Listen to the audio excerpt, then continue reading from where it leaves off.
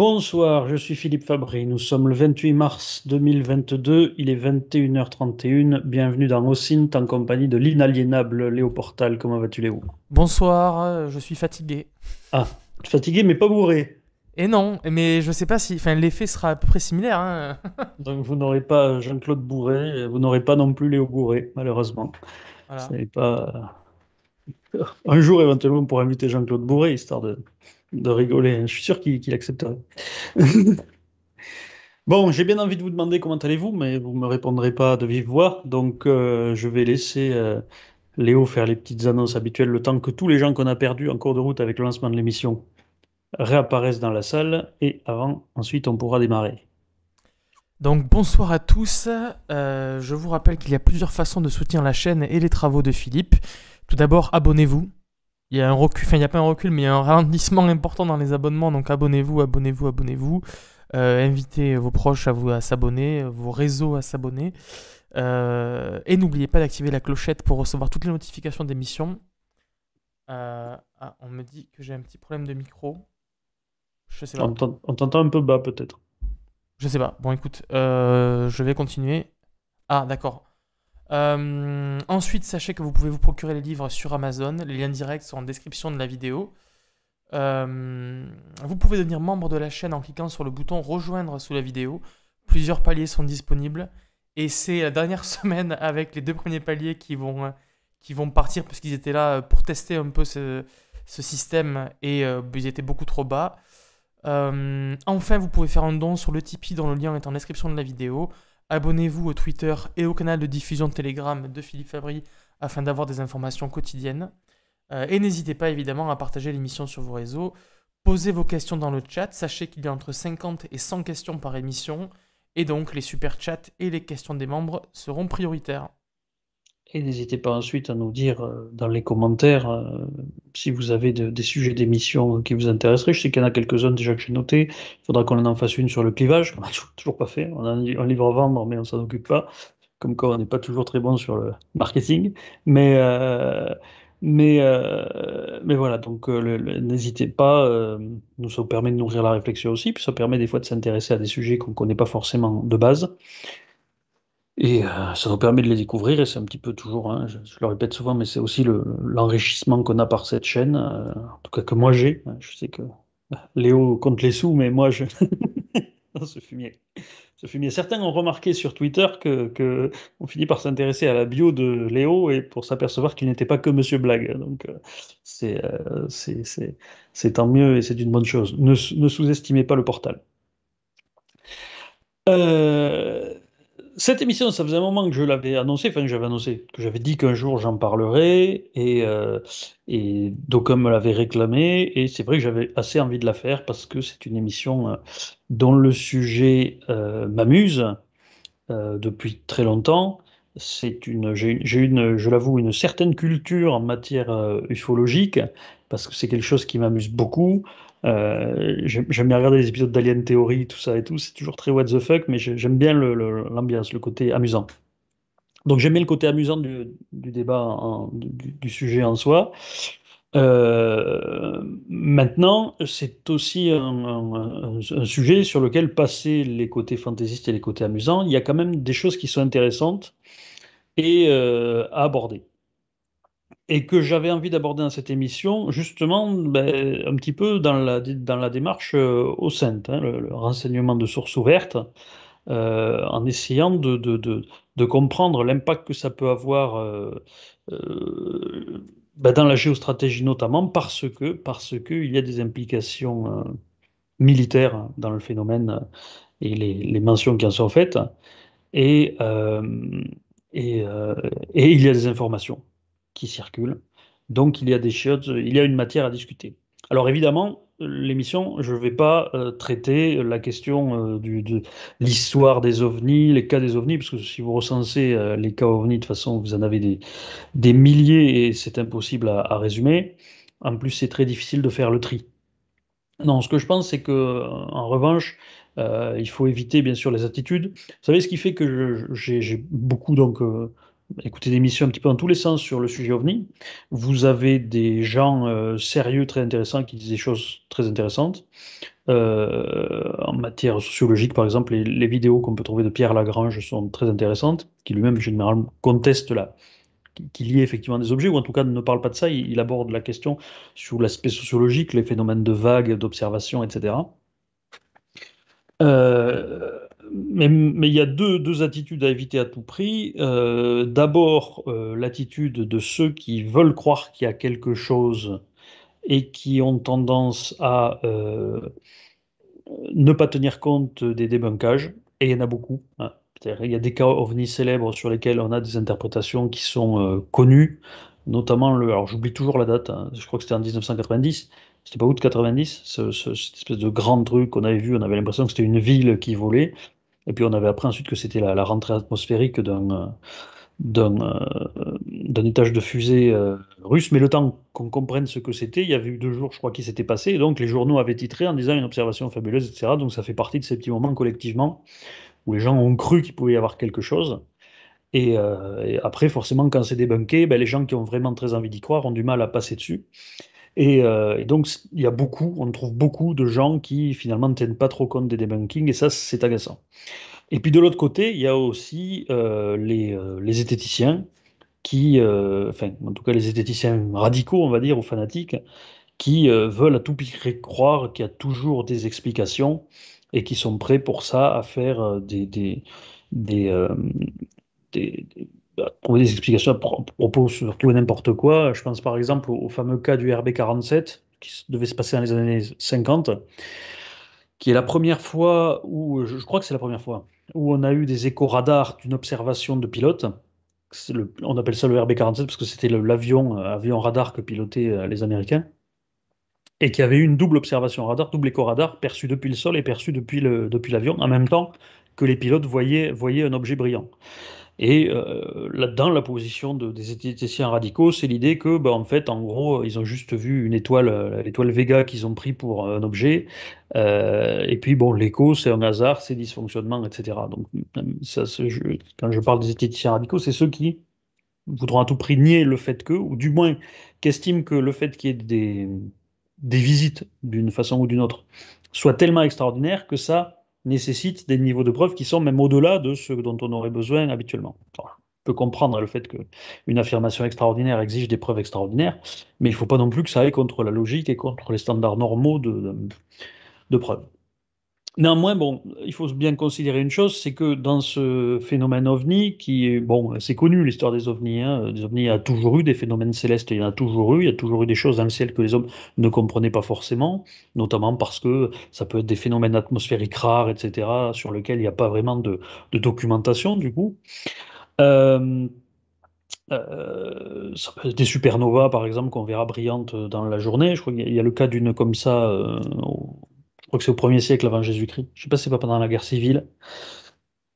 Euh, donc des choses comme ça, il y en a. Maintenant, ce qu'il faut effectivement constater, c'est d'ailleurs ce qui ressort des statistiques des organismes chargés d'étudier le phénomène, comme le, GIPAN en France, c'est que pour l'essentiel, l'essentiel, les cas sont explicables et viennent essentiellement d'une euh, d'une confusion du témoin lui-même.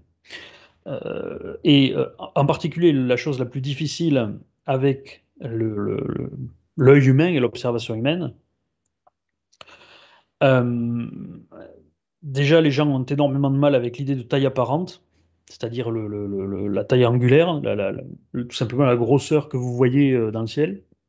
Souvent, si on vous dit que la, pleine lune, par exemple, elle, fait elle fait quelle taille euh, à, bout de bras, si vous dites comme ça, il y a des gens qui vous diront ça fait la taille d'une assiette, ça fait la taille d'une main, alors qu'en fait, ça fait la taille de l'ongle du petit doigt, bras tendu.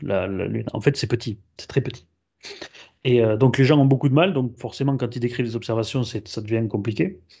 Et surtout, il y a un problème qui vient du cerveau humain lui-même, qui est que si votre cerveau ne sait pas ce qu'il voit, il est incapable d'en apprécier la taille et la distance. Notamment parce que la taille et la distance, ça s'apprécie de manière euh, relative. hein. C'est parce que vous savez à quelle distance est une chose et ce qu'est cette chose que vous pouvez dire quelle taille ça fait. Euh, ou inversement, c'est parce que vous savez quelle taille fait cette chose que vous pouvez dire à quelle distance elle est. Si vous ne savez pas du tout, ben, vous pouvez penser que c'est très très gros et très très loin, euh, alors que ça peut être très petit et très très près. Et j'ai un exemple euh, là-dessus. Un jour, j'étais dans un, euh, parc d'attractions qui est, dans les, bois, pas loin de chez moi. Et c'était en plein été. Et à un moment, je sais pas pourquoi, je, regardais à travers la, cime des arbres, donc c'était en forêt, donc il y avait, y avait que quelques puits de jour. Et, tout d'un coup, mon regard s'est arrêté parce que j'ai vu sur, fond de ciel bleu, et puis il y avait quelques nuages, euh, des, petits points blancs euh, bouger très très vite. Et j'avoue que je suis assez tombé en arrêt là-dessus parce que c'était tellement, euh, ça paraissait tellement énorme que, que, c'était absolument invraisemblable. Euh, donc je suis resté planté comme ça pendant euh, deux trois minutes en me disant mais qu'est-ce que c'est que ce truc? Et, et en fait j'ai fini par réaliser tout simplement que c'était des espèces de, pollen vraisemblablement qui, à cause des, couches d'air chaud, de- de- devaient virevolter à la cime des arbres et qu'on voyait très brillant et qui paraissait euh, euh, et qui était visible comme ça parce que euh, ben, tout simplement l'angle le soleil et que si je faisais deux pas, trois pas à droite à gauche, je le voyais plus. Mais tout ça pour vous dire que énormément de, de, de, de, cas ovnis s'expliquent comme ça. Pareil, une fois, j'ai mis cinq bonnes minutes à comprendre que ce que je regardais était la Lune. Alors ça paraît bête, mais quand la Lune est dissimulée en partie derrière des nuages sur l'horizon, et mine de rien, quand il fait nuit, euh, se rendre compte de la couverture de nuages sur l'horizon, c'est pas du tout évident. C'est-à-dire au-dessus de vous, vous voyez à peu près grâce aux lumières du sol notamment qui se reflètent, mais au loin, si c'est pas particulièrement éclairé par la lumière de la ville, ça se voit pas. Philippe, Et donc, quand vous voyez, un- oui, petite observation, pas de blague euh, sur la Lune, mais euh, euh, t'es quand même pas mal plus penché que quand on a fait les tests, du coup, Ah, t'as quand même une partie de ton visage qui est hors cadre. Donc tu peux te pencher, hein, c'est bien, mais alors dans ces cas-là, il faudra bouger la caméra. C'est Voilà. pour pas être trop loin de mon micro, pour pas que ça résonne. Je vais me, voilà. remettre comme ça. Voilà. Et donc, euh, donc je voyais, et donc en fait, du coup, je voyais en gros un morceau de lune carré comme ça, suspendu dans le vide. Et puis j'ai fini par comprendre. Mais dans les deux cas que je vous dis, l'avantage que j'avais, c'est que l'observation pouvait durer. Je pouvais rester face au truc. Or, il y a beaucoup de cas où les gens voient quelque chose de manière euh, très brève, quelques secondes, et ensuite tout ce qu'ils ont pour essayer de réfléchir, c'est un souvenir. Et donc à partir de là, euh, souvent vous avez du mal à identifier ce que vous avez vu, et donc c'est juste pas faisable. Et donc ça, ça explique l'énorme, la masse de, cas d'OVNI. Et après, il y en a tout un tas pour lesquels euh, c'est difficile parce que fragilité du témoignage humain, qui est une chose euh, qui est bien connue. Donc moi, je ne vais pas parler de tout ça ce soir, parce que là-dessus, en fait, on on peut rien, on peut rien dire. Et à force de lire des trucs dans les deux sens, si vous voulez, on trouve rien. Et puis de toute façon, ça m'intéresse pas en l'occurrence, parce que ce qui m'intéresse, encore une fois, pour le coup, c'est l'approche euh, géostratégique, euh, renseignement.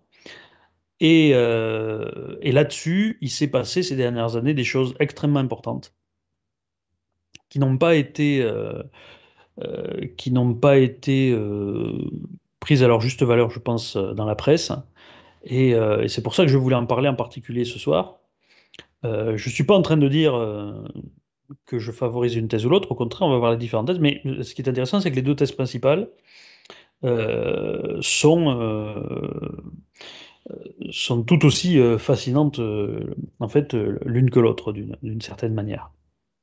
Et donc, c'est de ça que, que je voudrais parler, en faisant, alors, comme du coup, c'est un sujet qui est un petit peu plus euh, tendancieux, j'ai envie de dire, enfin, parce que tout de suite, ça fait, euh, c'est un côté pas sérieux, tout ça, malheureusement.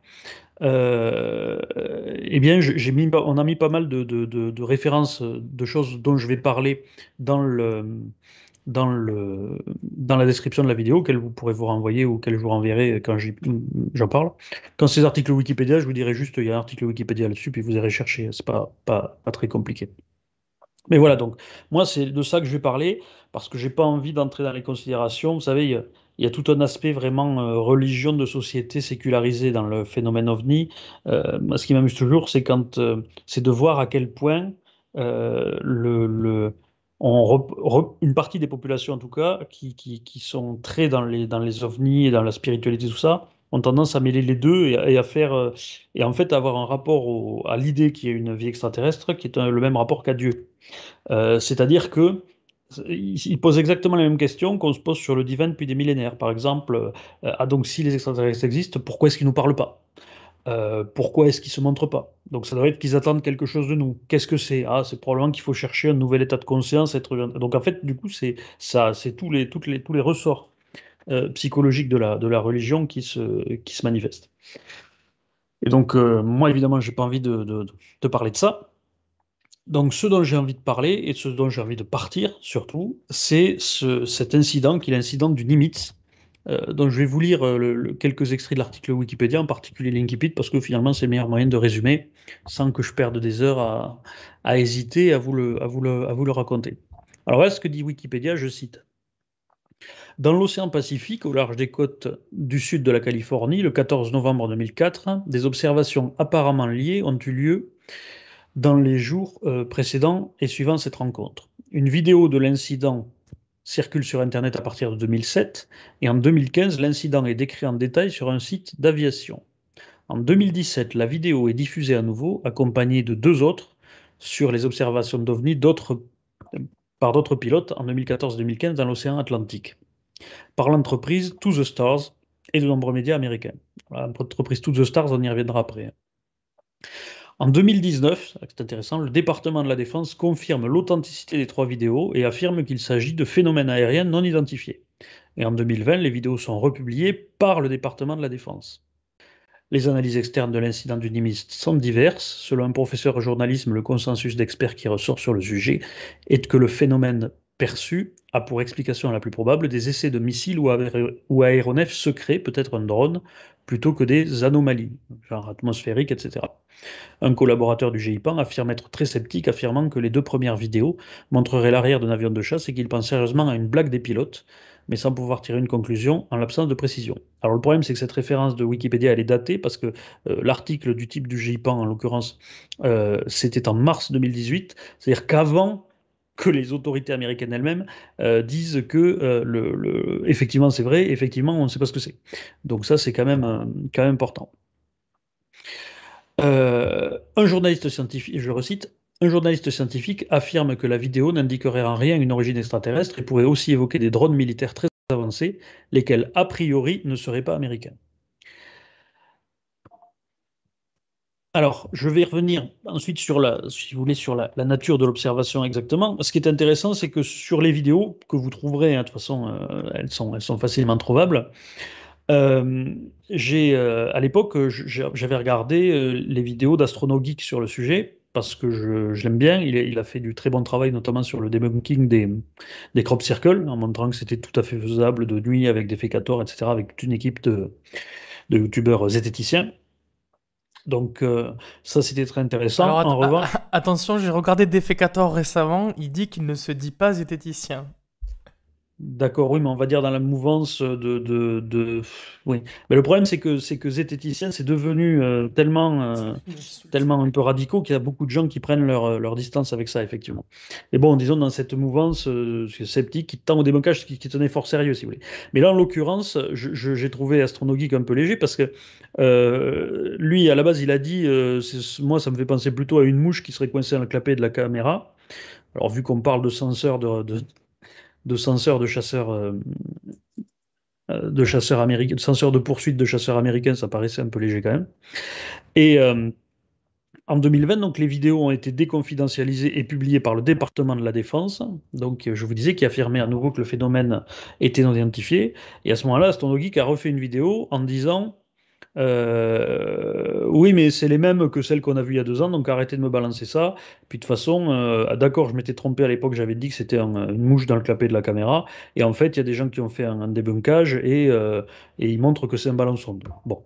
Euh, sauf que il y a d'autres vidéos, et là vous l'aurez également en lien dans la description, d'un euh, pilote de chasse français ou ancien pilote de chasse, je sais plus, qui explique que euh, le, truc était censé faire du vol stationnaire euh, face à un vent de 200 km/h, donc c'est, un ballon sonde ne fait pas ça. Donc ça a été vraisemblablement pun. Donc ça, si vous voulez, c'est typiquement le genre de, réaction qui me paraît aller trop dans la volonté de débunkage et de dire il n'y a rien. Alors surtout pourquoi, pourquoi c'est problématique de dire comme ça il n'y a rien? Euh, Parce que euh, parce qu'en l'occurrence, il y a quelque chose du fait même du contexte, du fait même de la position du gouvernement américain, qui, je pense, c'était la première fois qu'il déclarait, la première fois en, en 60 ans, quelque chose comme ça, qu'il déclarait qu'il y avait effectivement quelque chose et on ne sait pas ce que c'est. Euh, c'est-à-dire que le, vous savez, il y avait eu le, phénomène, je crois que c'était en 1952 ou un truc comme ça. J'ai toujours du mal avec les dates de ces trucs-là. Il y a tellement de, il y a tellement de, phénomènes. Euh, il y avait eu ce qu'on appelait le carrousel de Washington, c'est-à-dire une espèce de balai de, lumière qui aurait eu au-dessus du Capitole à Washington et qui avait beaucoup alerté la population américaine. Et euh, ensuite, il y avait eu la fameuse explication comme quoi c'était une, il y avait rien à craindre finalement parce que c'était une inversion de température. Et donc pendant plusieurs années, sur les observations venues comme ça, le gouvernement américain avait tendance à dire mais c'était ceci, mais c'était cela. Puis ensuite, il y a eu le rapport euh, Condon, le projet Blue Book, etc. Et puis tout ça jusqu'à ce qu'ils finissent par dire non mais en fait ça représente aucun danger, donc on ne l'étudie plus. Donc en soi, que 60 ans après, euh, il y ait cette idée que, ben oui, effectivement, il y a des phénomènes qu'on ne connaît pas, Enfin, oui, effectivement, ces vidéos sont vraies, et en plus, on ne sait pas ce que c'est. Là, en soi, c'est un changement drastique de position, si vous voulez. C'est quand même quelque chose d'important. Donc, forcément, en soi, ça dit quelque chose. Et là où ça dit encore plus quelque chose, c'est que, et c'est intéressant, c'est un phénomène dans le phénomène, c'est que la vidéo date de 2004 et que c'est 15 ans après que les autorités américaines finissent par reconnaître que oui, la vidéo existe et que oui, euh, elle ne sait pas ce qu'il y a dessus. Donc en soi, ça, euh, c'est le genre de choses qui devrait, qui aurait quand même dû faire un petit peu de bruit. Le fait que le gouvernement soit taisant sur un truc pendant 15 ans et qu'au bout de 15 ans, il avoue que c'est vrai. Quand même important, selon moi. Bon, pas été tellement souligné. Euh, alors, on va quand même parler du, cas lui-même pour savoir en quoi ça consiste. Alors, je ne fais pas le détail du récit parce que c'est toujours plein de chiffres, position radar, etc pour toute la partie qui est observation radar, donc vous irez voir. Euh, retenez simplement qu'il y avait des échos radars qui ont été observés à plusieurs reprises. Et ensuite, donc, il y a une confirmation visuelle. Et là, pour la confirmation visuelle, comme c'est assez spectaculaire, je, vous le lis. Donc, bien que les conditions, je cite, hein, c'est l'article Wikipédia tout. Bien que les conditions climatiques ce jour-là soient idéales, avec une excellente visibilité sous un ciel bleu, sans couverture nuageuse et une mer d'huile, aucun des quatre pilotes composant l'équipage n'aperçoit quoi que ce soit dans les airs en arrivant sur site, ni visuellement, ni sur leur radar. Ah, puisque à cause des observations radar, on les avait envoyés pour aller voir ce qu'il y avait. Je reprends ma citation. Cependant, en regardant vers le bas en direction de l'océan, ils aperçoivent une zone turbulente blanchâtre dans les flots, de forme générale ovale, formée par des tourbillons et de l'écume de la taille approximative d'un Boeing 737, avec une zone plus calme et plus claire près du centre, comme si les vagues se brisaient au-dessus d'un objet immergé juste sous la surface. Quelques secondes plus tard, ils aperçoivent un objet particulièrement inhabituel, flottant une quinzaine de mètres au-dessus des flots bouillonnants, non pas figé en vol stationnaire, mais animé de mouvements rapides erratiques de droite à gauche et d'avant en arrière, comme s'il observait ou cherchait quelque chose. Fravor et, Slate, c'est les noms de deux des pilotes, décriront plus tard l'objet solide comme un grand tic-tac blanc, brillant, de 10 à 15 mètres de long, entièrement lisse, sans verrière ni hublot, sans ailes ni empennage, sans système de propulsion visible, sans émission de fumée de combustion ou de traînée de condensation. En apercevant l'objet, Fravor tente une première approche calme en amorçant une descente circulaire en sa direction, laissant Slate observer à plus haute altitude mais il indique que l'OVNI empêche alors toute possibilité de dogfight, hein, vous savez, c'est le, combat rapproché, la, possibilité de se mettre en, position l'un derrière l'autre. Je reprends la citation. En évitant son verrouillage radar par des manœuvres qualifiées par Fravor d'impossibles et défiant la physique. Alors que Fravor approche davantage de l'objet dans sa descente, celui-ci commence à s'élever dans les airs en prenant une trajectoire également circulaire, mais inverse de la sienne, en miroir, conservant une certaine distance avec le FA-18, c'est l'avion. Hein. Fravor décide de changer de tactique et engage une manœuvre plus agressive en pointant le nez de son chasseur directement sous l'objectif, dans un plongeon vertical rapide afin d'effectuer une ressource sous l'objet. je ne sais, pas si ça va être un terme technique, je suppose. Je reprends. C'est à cet instant que l'OVNI quitte brusquement les lieux dans une accélération fulgurante, disparaissant à l'horizon à moins de deux secondes, laissant les pilotes stupéfiés sur place. Quelques minutes plus tard, l'opérateur radio du Princeton confirme au pilote que l'éco-radar se situe désormais à une position à nouveau stationnaire à une distance de 100 km des chasseurs. Selon le magazine Popular Mechanics, l'objet a dû voler à une vitesse supérieure à Mach 3 afin de pouvoir couvrir une telle distance dans le temps imparti. Après avoir perdu le contact visuel avec l'OVNI, les deux FA-18 sont pratiquement à court de carburant et doivent retourner se poser sur l'USS Nimitz. Et donc c'est à ce moment-là qu'il y a d'autres chasseurs qui ont décollé, cette fois-ci équipés des appareils vidéo, et que ce sont eux qui ont réussi à prendre les vidéos qui circulent et qui existent. Donc, c'est l'objet qui a été décrit là qui a été pris en vidéo. Donc c'est quand même extraordinaire parce que ça veut dire qu'on a quand même un cas d'un véritable objet vu, qui est vu de près, qui est décrit, et surtout, et c'est ça qui est extrêmement important, l'épisode, l'existence de l'épisode est reconnue par les autorités américaines. Alors, je ne sais pas s'ils sont prononcés sur le tic-tac, pas que je sache, mais sur les vidéos, oui. Et vu que tout le récit des pilotes explique que ces vidéos ont été prises en portion le tic-tac, etc., la confirmation, si vous voulez, elle, semble tirée de l'événement lui-même. Donc, euh, c'est extraordinairement, extraordinairement important. Ça veut dire qu'il y a eu quelque chose. Tout cas, que les, autorités américaines ont reconnu qu'il y avait eu quelque chose. On peut se poser dans un deuxième temps la question, on va y venir, de savoir si effectivement il y a eu quelque chose, ou s'il n'y a rien eu, et ou si tout ça est un bidon monté par les autorités américaines. À des fins de désinformation, de propagande vis-à-vis des ennemis, on ne sait pas. En tout cas, j'en redirai un mot peut-être euh, après. Et ce qui est particulièrement intéressant en plus, et surtout, c'est qu'à l'occasion de tout ceci, on a appris que depuis plusieurs années, les Américains travaillaient sur cette question des ovnis, alors qu'ils avaient toujours dit qu'ils ne travaillaient pas. Alors semble-t-il, c'est assez, récent, hein, puisque ça, ça daterait de 2012. Je vais vous lire là aussi un extrait Wikipédia. Mais rien qu'il n'y a pas eu d'autres programmes avant dans le temps qui ont été financés aussi.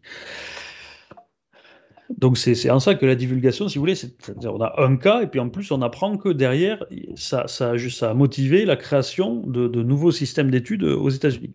Donc je vous lis là aussi la suite de l'article Wikipédia. On comprend qu'en fait la divulgation elle-même, hein, encore une fois divulguée 15 ans après la vidéo, c'est en soi le fruit justement d'une dissension à l'intérieur des services américains.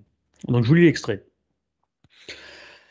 L'existence d'un bureau secret d'études des ovnis, dénommé Advanced Aerospace euh, Threat Identification Program, c'est-à-dire Programme d'identification avancée des menaces aériennes, ou AATIP, a été confirmé par le Pentagone et révélé dans la presse américaine le 16 décembre 2017, en, en parallèle à la confirmation de l'incident du Nimitz et la diffusion de la vidéo infrarouge de l'objet, plus d'une décennie après les faits.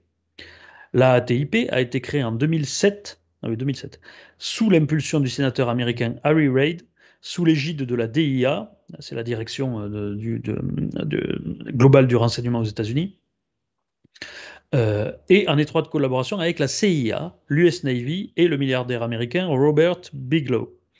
Le but était d'étudier un certain nombre de cas où des ovnis violent l'espace aérien et interagissent parfois avec le personnel ou les installations militaires des États-Unis, et plus précisément de définir la nature et le niveau de dangerosité du phénomène sur le plan de la sécurité nationale. Ces révélations font directement suite aux dissensions internes provoquées par l'arrêt du financement du programme en 2012, voilà c'était 2012, avec comme point d'orgue la démission en octobre 2017 de l'officier du renseignement Luis Elizondo, directeur de la ATIP durant 10 ans, en protestation contre la culture du secret et le désintérêt de l'administration sur le sujet. Alors en fait, Luis Elizondo, donc un agent du contre-espionnage américain, qui avait été placé à la tête de cette ATIP quand il avait été créé sur l'initiative du sénateur Harry Reid, euh, qui a étudié donc ces phénomènes, notamment celui du Nimitz. Et comme euh, ça, ça, patinait un petit peu cette affaire, peut-être qu'il manquait de financement, etc. Il a, euh, c'est lui qui aurait en fait fait fuiter certaines des vidéos pour, attirer l'attention du, public sur le sujet. Donc, si vous voulez, voilà voilà quel est le contexte et voilà les éléments qu'on a pour essayer de comprendre de quoi il s'agit. Euh, donc, je parlais tout à l'heure de l'entreprise To The Stars qui avait encore insisté pour obtenir la divulgation. Alors, To The Stars est une entreprise qui a été fondée notamment par ce Luis Elizondo, euh, dont également un autre des membres est, alors vous allez voir, du coup, ça, devient assez what the fuck et on se demande si c'est crédible, euh, dont un des autres membres est l'ancien guitariste du groupe, qui était le groupe préféré d'un de mes potes euh, au lycée, qui est Blink 182, qui était un groupe de punk rock en fait, et donc Tom DeLonge il s'appelle. et qui désormais a dit qu'il arrêtait la musique pour se consacrer à ce genre de sujet. Alors ça peut paraître un peu, voilà, on peut se dire que c'est encore des gens, des gens louches, mais justement, il y a quelque chose de très intéressant et qui se distingue des, euh, cas précédents. Parce que dans l'histoire américaine, vous avez déjà eu des cas comme ça de types qui, soi-disant, étaient des inside man et qui, qui sortaient et qui savaient plein de trucs. Vous avez le cas de Bob Lazar, hein, ce type qui, euh, prétendait avoir travaillé à la zone 51 et avoir vu des véhicules antigravité et des soucoupes volantes euh, dans la zone 51. Euh, bon, en fait, on n'a jamais trouvé trace de ces diplômes. Alors lui, il a dit que c'était la CIA qui les avait effacés pour, mais bon, après, à ce moment-là, je veux dire, en attendant, du coup, il n'avait rien trouvé, donc pas de raison de le croire. Euh, il y avait le, général Corso aussi, ce type qui avait écrit que euh, The Day After Roswell, euh, qui avait écrit qu'en gros il avait dirigé une partie du département de la CIA, je crois, qui était en charge de tous ces de, des morceaux de vaisseaux qui avaient été récupérés à Roswell. sauf que là aussi jamais prouvé et que, tout comme Bob Lazar avait une espèce d'intérêt mythomane à se faire valoir, ben, ce type, le général Corso, on pouvait penser que euh, son intérêt, c'était celui de, se faire une belle retraite, hein, puisque c'est le genre de choses qui rapporte d'écrire un livre sur Roswell en, expliquant quoi était un renseignement. Et donc, euh, donc euh, difficile d'accorder vraiment crédit à ce témoignage si on n'a pas particulièrement envie d'y croire, si vous voulez. là où ça change quelque chose, c'est qu'avec ce Luis Elizondo, sa position dans l'organigramme de la TIP est avérée, elle n'est pas contestée. Euh, il y a des documents, d'ailleurs vous irez voir sa fiche Wikipédia, il y a un, document justement, une lettre signée de Harry Reid qui parle de lui dans la quatrième page semble-t-il. Donc ça, ça semble avéré. Euh, et puis euh, le truc c'est que tout ça en plus est arrivé et sorti avec tous les témoignages de tous ces pilotes euh, qui, euh, non plus, semble-t-il, n'ont pas d'intérêt particulier à sortir ces, récits-là. Et enfin et surtout, de toute façon, le phénomène et encore une fois, le, cas a été confirmé par les autorités américaines. Et ça, je veux dire, on ne peut pas assez insister sur ce point-là parce que ça, c'est vraiment un truc fondamental qui a changé dans l'attitude américaine. Le fait que les autorités américaines reconnaissent oui, on a eu un cas, on a vu un truc de 10-15 mètres de long qui fait des mouvements absolument pas possibles et qu'on a poursuivi au radar, etc. Et on ne sait pas ce que c'est. Je veux dire, c'est quand même extraordinaire. Euh, euh, donc, ça pose question. Et la grande question, c'est de savoir ce que c'est. De savoir ce que c'est. Alors, la première hypothèse, revenons-y, parce qu'elle n'est pas forcément absurde, hein, en, tout cas dans le premier temps, elle avait été énoncée avant que le, département ne reconnaisse le truc, c'est l'idée d'une blague de pilote. Dans le cas de l'idée d'une blague de pilote, ça veut dire qu'il n'y avait rien, et qu'en fait c'est effectivement une blague de pilote, et donc les pilotes n'auraient vu. Alors il y a des, l'élément principal qui peut aller dans ce sens, c'est que quand on écoute le son des vidéos, ce que, semblaient dire les pilotes, l'enregistrement audio, ils ont l'air effectivement vachement détendus, en train de faire des blagues, etc. Et le, le, dans le lien que je vous ai mis, il en parle, le, pilote de chasse français qui décrit tout ça. Il dit que lui, c'est le, truc essentiellement qui l'étonne un peu, que tout le reste sur les vidéos le, le surprend pas de fin. L'objet est surprenant, mais que la façon dont les vidéos sont prises, etc., il voit rien de choquant. Par contre, qu'effectivement, cette attitude des pilotes, est un petit peu curieuse parce qu'il dit en général les pilotes de Navy sont quand même sérieux, professionnels, et là ils ont l'air de, surtout face à un truc qu'ils connaissent pas, ça peut être un peu la blague. Bon, il y a peut-être une, une, partie d'explication par le fait que, euh, que, c'était la deuxième vague d'avions qui allait poursuivre cet objet-là, hein, puisque je l'ai dit tout à l'heure, ceux qui étaient équipés de caméras, c'était la deuxième vague d'avions, donc ils avaient déjà eu le retour un peu de ceux qui, l'avaient vu, euh, et donc qui n'avait pas perçu de danger particulier, mais qui en même temps voyait un truc extraordinaire, donc il y avait peut-être une excitation qui vient impliquer ça. Bon. Mais mettons que ce soit une blague de pilote. Mettons. La question qui se pose à ce moment-là, c'est pourquoi les autorités américaines euh, viendraient expliquer tout à coup, encore une fois rompant avec des décennies de politique euh, euh, de communication sur le, phénomène, seraient, aurait, serait venu expliquer tout à coup que, ben oui, effectivement, il y a quelque chose, on ne sait pas ce que c'est. Ça, c'est quand même très surprenant. Il faudra arriver à l'expliquer. Alors, une explication qu'on peut chercher, ça serait celle d'un bidon de désinformation monté notamment pour, euh, pour, euh, pour perturber les concurrents, les Russes et les Chinois notamment. Pour que soit ils se disent il y a quelque chose de bizarre à l'extérieur, soit plus probablement qu'ils se disent ou les Américains ont ont bricolé quelque chose, ils veulent pas dire que c'est eux qui l'ont bricolé, mais ils l'ont bricolé, et ils ont quelque chose de dangereux contre nous. Euh, alors que peut-être les Américains n'ont rien, vous voyez. Euh, c'est le seul truc des informations que je vois. Ce qui va pas trop dans ce sens-là, c'est que, alors à la base, je me disais, c'est peut-être dû, c'était peut-être une espèce de réponse aux, aux armes hypersoniques dont Poutine avait fait l'annonce. Mais Poutine avait fait l'annonce des armes hypersoniques en 2018, alors que la première reconnaissance, elle date de 2017. Donc, hmm, ça ça, peut pas être une, une, sorte de réponse comme ça, un peu vexée, oh, ah, zut, ils ont des missiles hypersoniques et pas nous. Euh, donc ça, j'y crois pas trop. Il y a le fait aussi que, malgré tout, l'incident daté de 2004 et que euh, si c'est ça, ça peut pas être, je vois pas un bidon être monté d'aussi loin pour ce genre d'opération. Après, ça peut être interprété comme euh, le renseignement américain qui aurait décidé de monter un bidon justement avec une affaire qui traînait sur Internet depuis un moment, pour lui donner un petit peu de profondeur et justement de crédibilité. C'est éventuellement envisageable, mais encore une fois, euh, c'est une hypothèse qui, si on la retient, demande d'expliquer pourquoi véritablement il y a eu cette, sorte de rupture avec des décennies de, euh, culture américaine et surtout, surtout euh, est-ce que, est que toute la création de cet AATIP, euh, cet organisme de recherche, qui a été financé à hauteur de 22 millions de dollars, hein, donc c'est pas non plus, si vous voulez, le projet Manhattan hein, au niveau financement. Pour un budget comme le budget militaire américain, s'il s'agit de monter un bidon, 22 millions de dollars sur 5 ans, je pense que c'est pas, c'est pas absurde. Mais quand on voit les interviews d'Harry Reid, etc., le sénateur, euh, ça paraît quand même, curieux. Ça paraît quand même curieux que dans une entreprise comme ça, le gouvernement américain soit, impliqué.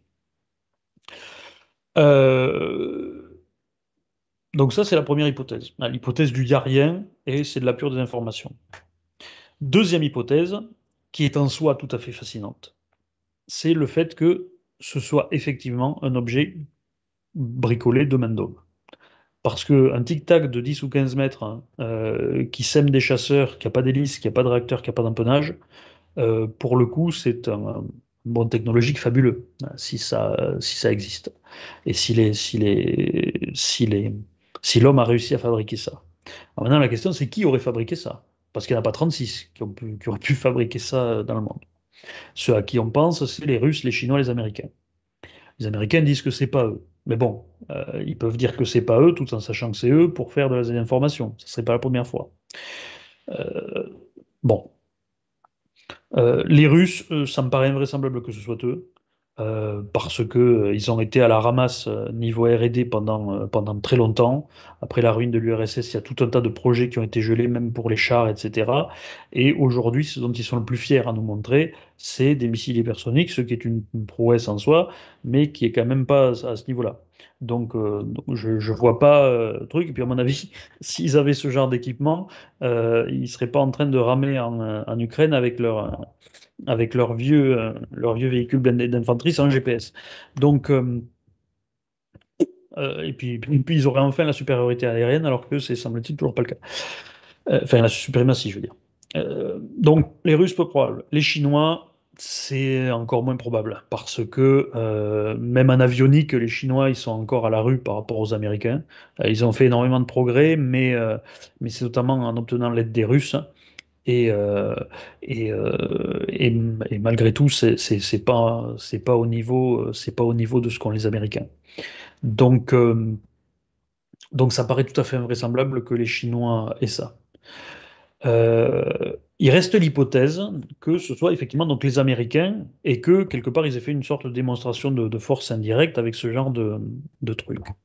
Mais à ce moment-là, ça pose quand même question. Ça pose question parce que pour un truc comme ça, pour sortir un truc comme ça, euh, il faut aller bien au-delà des, euh, fantasmes sur la, zone 51 et tous ces trucs-là, je pense. Pourquoi? Parce que la zone 51, ce qui en est sorti, des trucs comme le SR-71 Blackbird ou le B2, etc., ça reste des prouesses technologiques, mais pas des révolutions qui se basent sur une toute autre physique. C'est des trucs, c'est des bijoux technologiques qui poussaient au max des choses que par ailleurs on savait faire, mais euh, c'est tout. Euh, là, on parle quand même carrément d'autre chose, de quelque chose de tout à fait différent. Ça nécessite un paquet de sciences pour arriver à faire ça. Et un paquet de sciences comme ça, ça nécessite des publications. ça nécessite des dizaines de scientifiques qui ont écrit là-dessus pendant des décennies. Chose dont on n'a pas de traces. Euh, sauf si, bien sûr, euh, alors, il y a peut-être une petite idée de la façon dont ça pourrait fonctionner, un truc comme ça, en partie. C'est, pour ceux qui écoutent euh, Jean-Pierre Petit, qui, que j'aime bien, je suis fasciné par sa théorie cosmologique, que je pense assez, assez juste, de l'univers Janus. je suis toujours intéressé par ce qu'il raconte justement sur le phénomène OVNI, etc., sur sa propre expérience et les choses qu'il a vues et ses théories sur les armes secrètes américaines, même si ça m'amuse, hein, j'ai lu son bouquin, euh, je suis beaucoup plus circonspect sur la réalité de tout ça.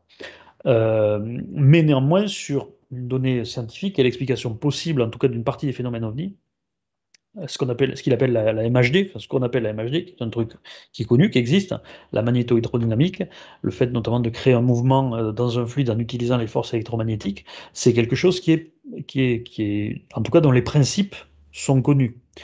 Euh, mais on n'a jamais réussi à en tirer des, malgré des efforts, semble-t-il, des, résultats euh, spectaculaires. alors lui, sa thèse, c'est que c'est parce que tout ça a été mis sous le boisseau par les États-Unis ça paraît quand même compliqué, si le sujet était vraiment si prometteur que ça, en tout cas, euh, qu'on soit vraiment capable d'en sortir des trucs, que les Américains aient réussi à désinformer à ce point pendant aussi longtemps. Euh, alors après, je, dis encore une fois, c'est intéressant, parce que d'après son idée, la façon dont il faudrait charger électriquement la coque avec ce qu'il appelle avec des électrodes, avec un système pariétal donc sur la paroi de un générateur qui, qui, qui, déploie les fluides, donc ce fluide qui peut être soit l'eau, soit l'air. Euh, et qui permet de briser notamment ce qu'on appelle le, mur de la chaleur. Hein, c'est-à-dire, vous savez qu'on ne peut pas faire aller les avions euh, trop vite parce qu'au bout d'un moment, ils fondent sinon avec le truc. Euh, et, puis avec les ondes de choc, ça détruit tout. Et donc l'idée, c'est que la magnétoélectrodynamique, comme ça, ça transforme l'objet quelque part en une espèce de suppositoire qui aspire l'air à l'avant, qui le rejette à l'arrière sans onde de choc. Mais eh ça permet d'aller plus vite que le, le, son sans onde de choc et donc sans bang supersonique. Euh, si vous voulez la nuit, il y a de fortes chances que comme vous êtes environné de plasma, ça brille. Donc, si vous voulez, c'est un, truc dont les principes scientifiques expliqueraient tout, un tas de caractéristiques euh, des, ovnis. Dans ce sens-là, c'est intéressant. Maintenant, est-ce que euh, le fait que ces principes-là soient, connus permettent d'imaginer que les Américains aient perfectionné tout ça avec une espèce de crypto-science, c'est-à-dire de manière totalement secrète, dans leurs installations. Là, c'est beaucoup plus difficile d'envisager ça. Alors, bien sûr, euh, dans l'histoire américaine, il y a des, enfin, il y a un surtout, un, euh, un cas de, de, de, de, bons scientifiques euh, majeurs fait dans le plus grand secret, c'est le projet Manhattan, la construction de la bombe atomique, qui a été faite. Alors, du coup, j'ai relu l'article tout à l'heure sur, le projet Manhattan, et justement, parce que moi, je me disais, oui, mais le projet Manhattan, ce qui, ce qui, était différent quand même, c'est que les principes euh, de l'atome, etc., c'était des choses qui étaient quand même connues. Donc, euh, donc, il y avait déjà eu des recherches, il y avait déjà eu des publications. Donc, euh, c'était, c'était pas à cacher. mais là, quelque part, finalement, c'est après avoir réfléchi, parce qu'à la base, je me disais, non, mais ça peut pas être possible. Mais après, j'ai réfléchi, je me suis dit, mais quelque part, la MHD aussi, puisque je viens de vous en parler, il y a, il y a, eu, malgré tout, quelques, il y a eu des publications, donc le principe est connu. Euh, et euh, en réalité, je, vous lis l'extrait de l'article sur la, confidentialité du projet Manhattan. Ça, c'est intéressant. Le projet Manhattan fonctionnait dans le secret absolu pour qu'il ne puisse pas être découvert par les puissances de l'Axe, en particulier par l'Allemagne, ce qui aurait pu conduire celle-ci à, accélérer son propre programme de recherche nucléaire, et afin d'éviter que l'ennemi ne, ne mène des opérations de sabotage. La censure des informations portant sur le nucléaire commença néanmoins avant le début du projet, après le déclenchement de la guerre en 1939, les scientifiques américains commencèrent à éviter de publier leurs travaux dans ce domaine, et en 1940, les journaux demandèrent à l'Académie nationale des sciences de purger certains articles. Le journaliste William L. Lawrence du New York Times, qui avait écrit un article sur la fission nucléaire en septembre 1940 dans le Saturday Evening Post, apprit par la suite que des agents du gouvernement avaient demandé en 1943 aux bibliothèques de tout le pays de retirer leurs exemplaires du périodique. Au début de l'année 1943, les journaux commencèrent à évoquer la construction d'immenses installations dans le Tennessee et dans l'État de Washington en s'appuyant sur des documents officiels. En juin, le bureau de la censure demanda à la presse écrite et radiophonique d'éviter les discussions sur la collision des atomes, l'énergie atomique, la fission atomique, la désintégration atomique et leurs équivalents. Donc il y a eu véritablement un travail d'étouffement de l'information sur le projet Manhattan, mais surtout, et c'est le truc moi qui m'intéressait surtout, c'est que bon, le fait qu'on ait qu'on essaie de contrôler dans les journaux, d'éviter que les gens en parlent et tout, à partir du moment où le grand public connaît pas, c'est toujours relativement facile de les informer. Mais au sein d'une communauté scientifique, arriver à faire en sorte que les gens ne parlent pas de ce qu'ils découvrent et ne publient pas leurs articles, ça, ça me paraissait une gageure, et apparemment ça a été fait. Mais le truc, c'est que ça a été fait pendant trois ans, pendant trois, quatre ans, le temps qu'a duré le, le projet Manhattan. Là, sur la MHD, qui est apparue dans les années 70, on parlerait de 50 ans de secret ça paraît quand même assez gigantesque et, euh, et ça paraît difficile à croire. Alors c'est possible, mais en soi, il faut bien se rendre compte de ça, en soi. Si les Américains ont mis au point cet engin, là, le, tic-tac, qu'il a les performances que les pilotes ont dit, mais encore une fois, là, on parle de choses qui ont été reconnues par le département. Alors peut-être qu'ils nous mentent, mais bon, dans l'hypothèse où ceci est pas faux. Euh, si les Américains ont mis ça au point, en soi, je pense que ça mérite d'être qualifié de tout à fait sensationnel. Parce que ça serait euh, un bon technologique absolument fabuleux, et ça voudrait dire que les Américains ont une suprématie aérienne sur la totalité du monde. Euh, mais dans ce cas-là, on peut se demander pourquoi avoir dépensé autant d'argent pour l'F-35, par exemple. Euh, donc, euh, beaucoup se sont plaints de la qualité et des performances. Si vous avez un tic-tac, euh, est-ce que c'était vraiment utile? Ou à titre de couverture, peut-être? Voilà. Donc, disons que c'est vrai, c'est une hypothèse fascinante si c'est ça, mais ça soulève, ça soulève aussi quand même des interrogations sur, sur bah, sur, le contexte et sur un certain nombre de choses qui se sont euh, passées depuis. Voilà, euh, euh, voilà ce que je voulais vous dire là-dessus. Et si je m'arrête là, vous allez être super frustré. J'en suis convaincu. Donc on va quand même envisager l'autre hypothèse. L'autre hypothèse qui serait que ce serait autre chose. Sans même parler d'extraterrestres, parce que si c'est autre chose, on ne sait pas ce que c'est. Enfin, disons que c'est extraterrestre dans le sens où ça ne viendrait pas d'ici. Alors, est-ce que ça, est-ce que ça l'est? Eh bien, écoutez, aventurons-nous plus avant dans le bizarre et euh, notons que euh, en novembre 2021, les États-Unis ont annoncé mettre en place une unité euh, chargée d'étudier les ovnis. Donc, ils l'ont annoncé cette fois-ci publiquement. Donc, l'année après avoir déclassifié eux-mêmes les vidéos dont ils avaient contesté ou en tout cas pas reconnu pendant 15 ans la vérité. Là, ils recréent une agence. Donc, ça pose question. Pourquoi est-ce qu'ils font ça? Et alors là, il faut remonter un petit peu dans l'histoire et il faut se rendre compte que des cas qui impliquent l'armée, des cas assez extraordinaires, il y en a depuis très longtemps. Il y en a depuis très longtemps, et notamment, notamment, qui ont agi sur les installations nucléaires américaine. Il y a des témoignages de vétérans qui ont été notamment euh, divulgués euh, surtout compilés lors d'une conférence du National Press Club euh, aux États-Unis en septembre 2010. Vous aurez le lien complet dans la description de la vidéo. Et je vais vous lire le premier témoignage, qui est le témoignage de Robert Salas, euh, que j'ai retranscrit. Je ne voulais pas vous le diffuser en, anglais, parce que notamment pour les gens qui écoutent le podcast, euh, si vous ne suivez pas l'anglais, c'est compliqué. Donc je vais vous lire la transcription, puis comme ça, c'est mieux pour tout le monde, comme ça on sait de quoi on parle. Donc voilà le témoignage de Robert Salas. En 1900, je cite. En 1967, j'étais lieutenant de vaisseau stationné à la base de l'armée de l'air de Malmstrom, au Montana. J'étais officier lanceur de missiles. Et en mars, le 24 mars 1967, j'étais de service à ce que nous appelions Oscar Flight. C'est une capsule souterraine dans un site renforcé à environ 20 mètres de profondeur. Nous avions des agents de sécurité en surface. La garde principale est appelée contrôleur de sécurité de vol.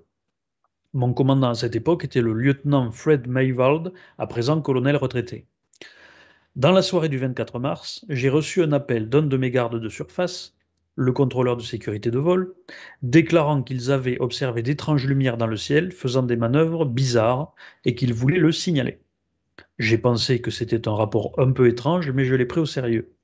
Vous devez comprendre que nous protégions des armes nucléaires et les rapports que nous faisons généralement étaient très professionnels. En tout cas, j'ai plutôt écarté l'appel. Il a rappelé environ cinq minutes plus tard. Cette fois, il criait au téléphone, disant qu'il voyait un objet rayonnant rouge planant au-dessus de notre grille avant. Cet objet était d'environ 10 mètres de diamètre. Il ne pouvait pas bien discerner les détails de l'objet, seulement qu'il pulsait, et tous les gardes étaient avec lui. Il était très effrayé et voulait que je lui donne des instructions. Je pense que j'ai dit quelque chose comme Assure-toi que rien ne pénètre à l'intérieur du périmètre de la barrière. Il a immédiatement raccroché le téléphone. Je suis allé réveiller mon commandant, Fred Mayvald, qui était en pause de repos. J'ai commencé à lui parler de l'appel téléphonique et juste au moment où je lui racontais, nos missiles ont commencé à entrer dans ce qui est appelé un état de no-go ou non lançable. En bref, ils avaient été mis hors service alors que cet objet stationnait toujours au-dessus de notre site, de notre base de contrôle de lancement. À ce moment-là, nous avons suivi nos procédures. De retour au poste de commandement, il a signalé l'incident. Nous avions aussi quelques voyants de sécurité allumés, ce qui signifiait des incursions de sécurité sur certaines des bases de lancement. Alors j'ai rappelé le garde en haut et ordonné qu'une équipe de sécurité soit envoyée sur place. À ce moment-là, le garde m'a dit que l'objet était parti à grande vitesse. De nouveau, silence, aucun bruit. Les agents de sécurité sont allés à la base de lancement et ont signalé que eux voyaient l'objet de nouveau. Ils ont aussi perdu le contact radio et cet incident s'est terminé à ce moment-là. Nous avons réinitialisé les alarmes de sécurité, mais les missiles eux-mêmes étaient toujours hors service. Nous avons dû appeler la maintenance, demander à des équipes de maintenance de venir pour les remettre en état d'alerte. L'indication principale que nous avons obtenue de notre équipement est qu'il s'agissait d'un échec du système de guidage et de contrôle. Je tiens à souligner que le personnel de sécurité en haut n'avait aucune autorité de contrôle, il n'avait aucun équipement là-bas, aucune capacité d'effectuer un quelconque arrêt du système sur nos missiles. Tous les systèmes de commande étaient souterrains. Donc, entre parenthèses, à ce moment-là, ça, veut dire que ça pouvait pas être une blague des mecs en surface qui auraient coupé les trucs en faisant ah, on voit quelque chose, hein, puisque lui-même n'a rien vu. Il dit ça, c'était pas possible. Puisque c'était, il n'y avait que lui qui, avait, accès aux commandes avec son, chef. Je reprends la citation.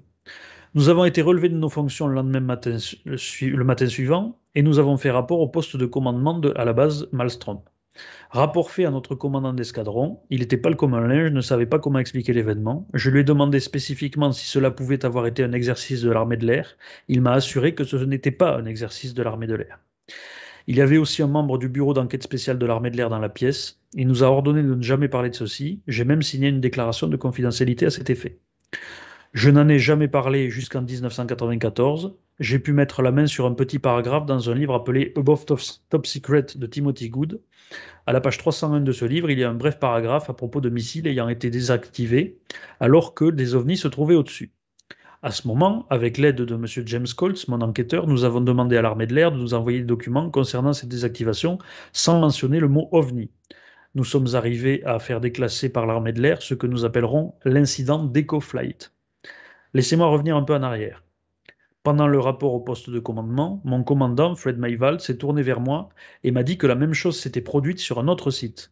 À l'époque, j'ai pensé qu'il avait voulu dire ce soir-là, mais il ressort que la même chose avait eu lieu une semaine plus tôt sur un autre site, et il se référait probablement à l'EcoFlight. En tout cas, à ce moment-là, quand nous avons obtenu la déclassification de l'EcoFlight, j'ai pu ou j'ai estimé pouvoir me faire connaître et commencer à en parler, parce que je pensais en être là. Ce n'est que plus tard que j'ai découvert que c'était à Oscar Flight et je me suis rendu compte que non seulement notre vol avait été neutralisé, soit 10 missiles, mais que l'EcoFlight avait aussi été désactivé environ une semaine plus tôt, le 16 mars.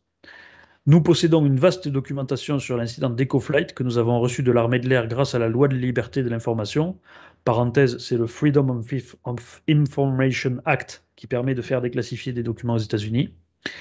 Je reprends. Nous avons le témoignage de Walt Figel, qui était le commandant adjoint de l'équipage de missiles à EcoFlight. J'ai quelques lettres du commandant, Eric Carlson. Le colonel Maywald m'a accordé une interview téléphonique à ce sujet en 1996.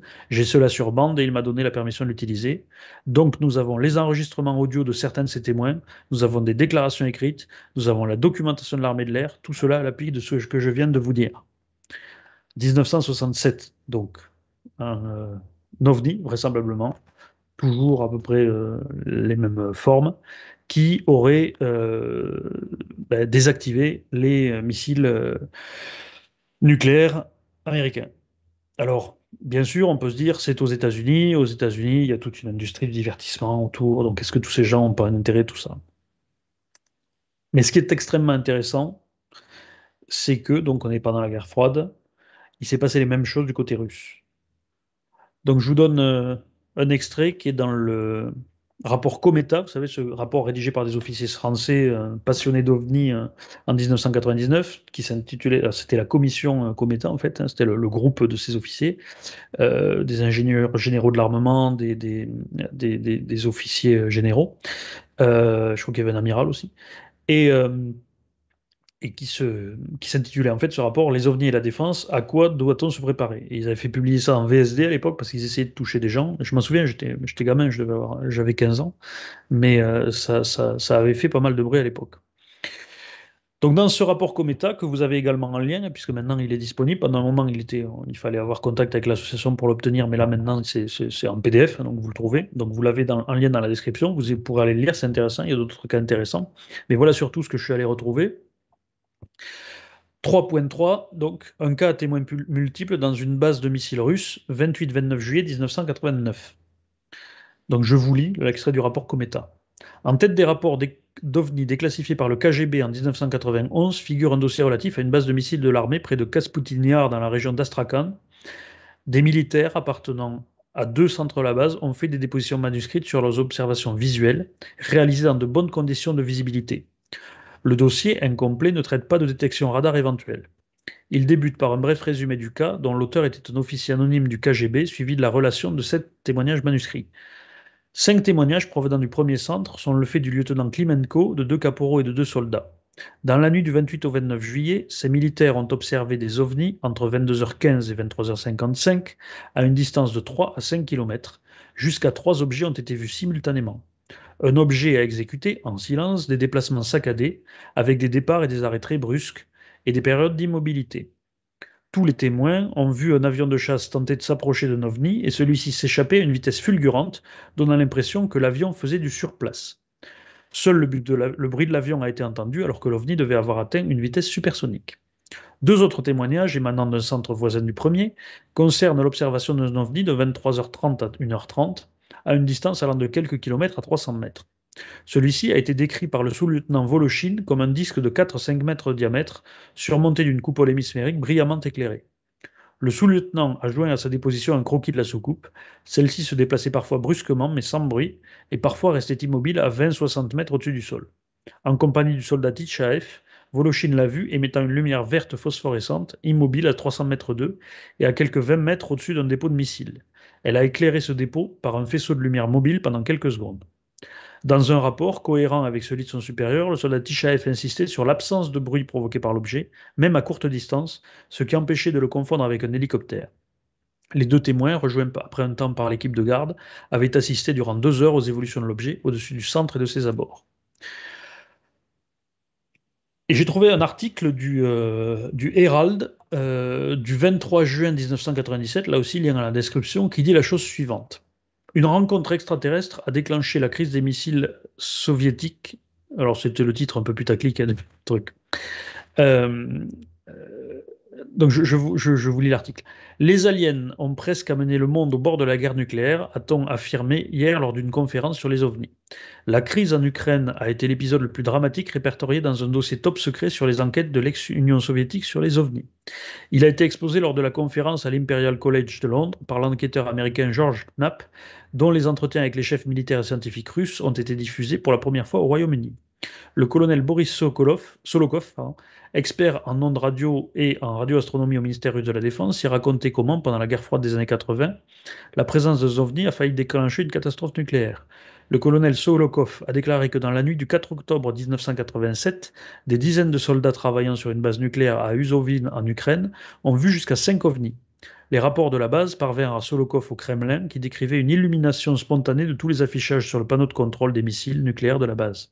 Le rapport indique que les codes d'accès top secret des missiles mortels sont apparus spontanément sur les écrans de la base.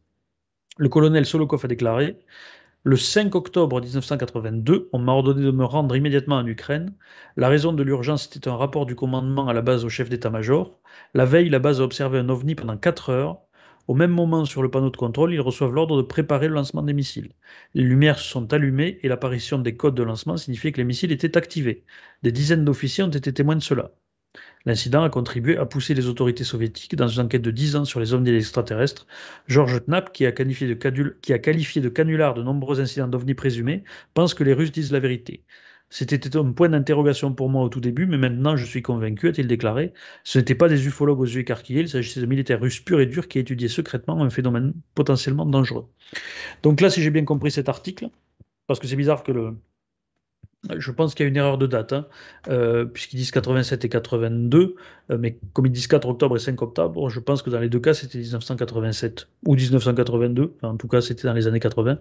Euh, y a eu, il y aurait eu donc là aussi un équivalent euh, de, de, ce qu'ont pu voir les Américains. Et vraisemblablement, il y, a eu, il y a eu pas mal de cas, hein, puisque déjà ça, là, ça en évoque deux à une semaine de différence. Il n'est pas impossible que pendant des décennies, il y ait eu régulièrement ce genre d'intervention, ce qui expliquerait que les Américains s'y soient intéressés également avant. Je ne sais pas si les Russes avaient, avaient un autre centre de, de, de recherche là-dessus. Je ne sais pas s'ils en ont un actuellement, ce n'est pas connu. Mais ce qui est intéressant, c'est que, semble-t-il, le même type d'information est sorti de l'Union soviétique. C'est-à-dire que c'est effectivement lié à des systèmes de missiles, euh, de missiles euh, nucléaires. Et donc, il y a eu euh, des observations de ces choses-là. donc, ça veut dire que le, phénomène en soi, en soi sur, les, sur les, phénomènes nucléaires. Et le, autre chose, pas lié au, au système nucléaire, mais c'est intéressant aussi, c'est que l'affaire du tic-tac, finalement, m'a fait penser aussi à un cas qui est célèbre, euh, qui est décrit par, euh, par Jacques Crine, qui est un ancien pilote de chasse français. Vous avez le lien en description, là je ne vous diffuse pas et je ne vous ai pas fait la, transcription parce que c'est facile à trouver, c'est en français, donc vous pourrez l'écouter, qui explique que dans les années 70, euh, alors que son équipe venait d'obtenir les Mirage 3, les chasseurs donc, ils devaient faire, ils s'entraînaient à faire un rassemblement de nuit euh, dans le nord de la France pour faire la police du ciel, hein, tout simplement. Et donc c'était, euh, ils, faisaient un rassemblement de nuit, donc ils se, trouvent de nuit. Euh, c'était une mission d'interception en fait. Et ils s'entraînaient à faire ça de nuit parce qu'ils avaient des nouveaux radars très puissants. Et pendant cette mission, à trois reprises, ils ont été confrontés à un truc ovoïde, hein, pareil, forme ballon de rugby, euh, avec, euh, avec semble-t-il, des choses qui étaient comme des hublots, en tout cas, qui faisaient des, qui avaient une lumière très très brillante, qu'ils ont essayé de poursuivre. À chaque fois, le truc disparaissait d'un seul coup, exactement comme il y avait dans le, dans le cas là, mentionné par les, soldats russes, hein, le, truc qui part euh, d'un coup comme ça et qui donne l'impression que les chasseurs à côté sont, sont immobiles. Donc c'est quelque chose qui est ancien. Alors pourquoi tout ça c'est intéressant? Pourquoi le, cas de, de est intéressant? Il y en a d'autres. Hein témoignages qui sont du même type. Il y en a dans le rapport Cometa, puis ça se trouve ailleurs. Euh, donc des trucs relativement bien sourcés en tout cas, où on peut retrouver le témoin. Euh, ça veut dire qu'il y avait déjà des observations de choses similaires à ce qui a été vu donc en 2004, hein, puisque c'est de là que date l'observation d'une limite, hein, ça, c'est 15 ans plus tard, c'est divulgué, mais c'est 2004.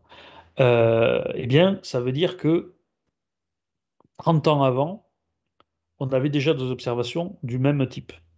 Ça veut dire que s'il y avait un appareil de ce genre-là qui existait à cette époque-là, pour le coup, on ne voit pas comment à l'époque ça aurait pu être américain.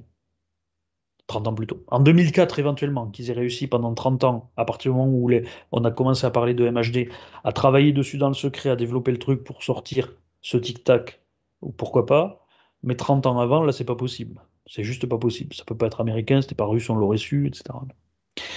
Euh, donc, ça ne veut pas dire que ce qui a été vu en 2004 était la même chose que ce qui a été vu dans les années 70. Peut-être que ce qui a été que ce qui en 2004 a été fabriqué par les Américains en imitant les propriétés de choses qu'ils avaient déjà pu observer dans les années 60-70 c'est également une possibilité. Mais ce que je veux dire, c'est que, quoi qu'on en pense, il y a un vrai sujet dans tout ça. Il paraît curieux que les gens ne s'intéresse pas au fait que, je ne parle pas des cas de gens, encore une fois, hein, on ne parle pas là de gens qui ont vu des trucs qui savent pas trop ce que c'est, hein, comme moi avec mon morceau de lune ou mes, mes pollens euh, à la cime des arbres. On parle de sites de missiles soviétiques comme américains qui ont été surveillés, avec un effet sur la commande des tirs de missiles, et on parle d'engins vus comme tels, c'est-à-dire des objets. Hein. C'est pas juste un écho où on se dit ça peut être une de Non, on a des pilotes qui sont venus, qui ont vu ce truc, qui a des performances extraordinaires, et où le gouvernement américain dit oui, c'est vrai, et on ne sait pas ce que c'est. Je ne comprends pas qu'on n'ait pas plus parlé de ces choses-là en se posant la question. Alors ça me fait toujours penser à la phrase de Peggy, il est particulièrement difficile de voir ce que l'on voit. Euh, c'est-à-dire que euh, quand les choses sont totalement euh, inimaginables ou, ou, semblent tellement sortir du cadre de ce qu'on peut imaginer habituellement, on n'arrive pas à le voir comme quelque chose de réel. tout simplement, ça paraît irréel, donc on a du mal à y réfléchir. Et donc on n'arrive pas à le penser, donc on n'arrive même pas à s'interroger dessus. Alors ça relève peut-être en partie de ce que, pour le coup, Jean-Pierre Petit a une formule que j'aime beaucoup, c'est la cosmotrouille. le fait, l'idée qu'on préfère ne même pas y penser parce que, parce que ça serait trop terrifiant. Euh, mais néanmoins, je pense que c'est une hypothèse qui doit être envisagée. Euh, on doit se poser la question euh, de savoir qu'est-ce que c'est que ces trucs, qu'est-ce qui en 1967 pouvait venir perturber les systèmes de missiles américains, c'était pas les, c'était pas les Russes, et véritablement qu'est-ce que c'est? Parce que en soi dire que c'est, alors on peut voir que c'est un objet, mais en soi dire que c'est un engin, il faudrait pouvoir le découper pour savoir si ça en est un, on ne le sait pas. Ce qui est sûr, c'est que ce ne sont vraisemblablement pas des phénomènes météorologiques. Donc il y a une interrogation. Et, c'est là le point extrêmement important. Je pense que les Américains, les autorités américaines, qui l'admettaient, ou en tout cas faisaient des recherches au moins à tout hasard, hein, au cas où, depuis des décennies, maintenant l'admettent publiquement et décident, c'est ce qu'ils ont fait encore une fois, en novembre 2021, il y a six mois, euh, on dit, bon ben il faut qu'on y travaille quand même dessus parce qu'il y a quelque chose. Voilà, il y a quelque chose. Pour moi, c'est ça le message véritablement important là-dessus. Il y a quelque chose, et pourquoi j'ai fait ce titre amusant, les ovnis nous sauveront-ils de la guerre nucléaire? Parce que effectivement, on peut se demander s'ils ont un tel intérêt, en tout cas si ce phénomène a un tel intérêt à surveiller euh, les installations nucléaires et, euh, voir à, activer ou désactiver les missiles, euh, c'est peut-être dans un but de, je sais pas, de police ou de surveillance pour s'assurer qu'il n'y ait pas de dérapage. C'est une question en tout cas qu'on peut se poser et surtout qu'aujourd'hui on peut vraiment se poser. C'est ça qui est, important. Ça ne veut pas dire qu'on a une réponse, ça ne veut pas dire qu'on sait ce que c'est, ça ne veut pas dire que c'est des extraterrestres euh, personnages, ça veut pas dire que ce pas des machines, on ne sait pas. Euh, est-ce que c'est une, comme dans le, comment ça s'appelait, c'est quoi le titre de, cette BD de Black et Mortimer, dans laquelle euh, il y a des extraterrestres qui sont en fait venus du futur, qui sont les descendants de l'humanité euh, euh, avilis par, euh, par les conséquences d'une guerre nucléaire, qui trouvent le moyen de venir dans le passé justement pour se venger de leurs ancêtres qui, qui, qui ont provoqué le cataclysme nucléaire. ça peut, je veux dire, à ce moment-là, tout, tout, est, tout est envisageable. Ça, c'est c'est Tenet, ça c'est ben c'est un peu le c'est un peu le même il y, y, y a un peu mais mais le film la BD est plus vieille. Euh, et euh, mais mais il y a, un truc comme ça y a un truc comme ça. Donc euh, donc il y a cet aspect là et puis même si on retient pas cet aspect là et qu'on reste sur l'hypothèse semble-t-il la plus défendue du drone hein, sans preuve hein, je veux dire il y a rien qui permet de le truc. Disons que c'est simplement que ça paraît moins extraordinaire encore que mais en fait pour moi, c'est pas moins extraordinaire. En tout cas, bon, c'est peut-être moins euh, historique dans l'histoire de l'humanité que euh, si euh, on, constatait la présence de visites extraterrestres, mais, mais en soi, c'est malgré tout extraordinaire dans l'histoire de la science, dans l'histoire de la technologie, dans l'histoire même des États, la capacité à, développer une technologie secrète, ça et surtout euh, dans l'explication de, la politique américaine ces 30 dernières années, si elle avait, ou au moins ces 20 dernières années, si elle avait un truc comme ça. Voilà. Euh, sachant que c'est le moins vraisemblable, donc c'est peut-être l'autre hypothèse qu'il faut poursuivre. En tout cas, voilà, je tenais à faire cette émission pour faire ces rappels là-dessus, parce que, euh, encore une fois, sans aller dans les, cas euh, absolument délirants ou de choses qu'on ne connaît pas ou qu'on n'est pas trop sûr, etc. Vous restez sur des cas de témoignages de militaires. Et même si vous vous tenez uniquement au cas du Nimitz, Même si, vous, si tout le reste, le témoignage de Salas, euh, les trucs qui seraient sortis des archives du KGB, même si vous écartez tout ça, que vous restez uniquement sur le truc du Nimitz, ça reste un événement géostratégique qui devrait être discuté. Même si à la limite on croit qu'en fait il n'y a rien eu et que c'était une blague des pilotes, à ce moment-là, ça veut dire qu'il y a une opération d'intox du gouvernement américain, pour qui, pourquoi, à quel degré, euh, qui mériterait au moins d'être, discutée largement et pas laissée euh, aux simples gens qui s'intéressent, à mon avis, à cette question ufologique. Pour le coup, c'est un sujet au CINT. hein. C'est c'est du renseignement de source ouverte, c'est de, de éventuellement de la désinformation géostratégique. Il y a un sujet. Voilà. Et j'ai l'impression que ce sujet euh, ben, n'est pas traité, pas avec le sérieux qu'il mérite. Voilà ce que je voulais dire euh, ce soir sur ce sujet. C'était un peu long, j'espère que ça vous a intéressé. Et euh, on peut quand même passer aux questions si ça, euh, si vous en avez. Ouais, d'ailleurs, en parlant d'Ocine, toi tu parlais de la Lune tout à l'heure. Euh, moi, j'arrive quand même à voir des planètes euh, à l'œil nu sans télescope. Ben, tu vois Vénus déjà, comme tout le monde. Alors moi, j'ai vu Mars aussi quand même, ce qui était quand même plus impressionnant. Ouais, Mars aussi, oui, mais on voit Jupiter aussi, tu le sais, fils. Ah Oui, je sais, Et, oui. et Je Saturne aussi est visible parfois. Donc arrête de te la péter, s'il te plaît, fais les rappels. Tu sais que je peux arrêter le live là, si j'ai Je envie. sais, je sais, je sais, mais j'aime vivre dangereusement. Non, les rappels, on les fera à la fin. euh, D'accord, la ben fin. alors euh, pose les questions, fils. Voilà. Alors, euh, déjà, on remercie euh, Lucien Furcart pour son don. Merci. Euh, et euh, sa question, une rencontre avec une civilisation extraterrestre pourrait-elle remettre en cause la poursuite des cycles historionomiques? Alors, par disruption totale? C'est naturellement la question que je me pose. C'est une question que je me pose très fortement. Euh, je suis pas sûr. Je suis pas sûr dans quelle mesure. Parce que, vous savez, il y a cette idée que euh, la découverte d'une civilisation euh, moins évoluée par une, civilisation beaucoup plus évoluée entraîne la disparition ou la désagrégation de la civilisation la moins évoluée.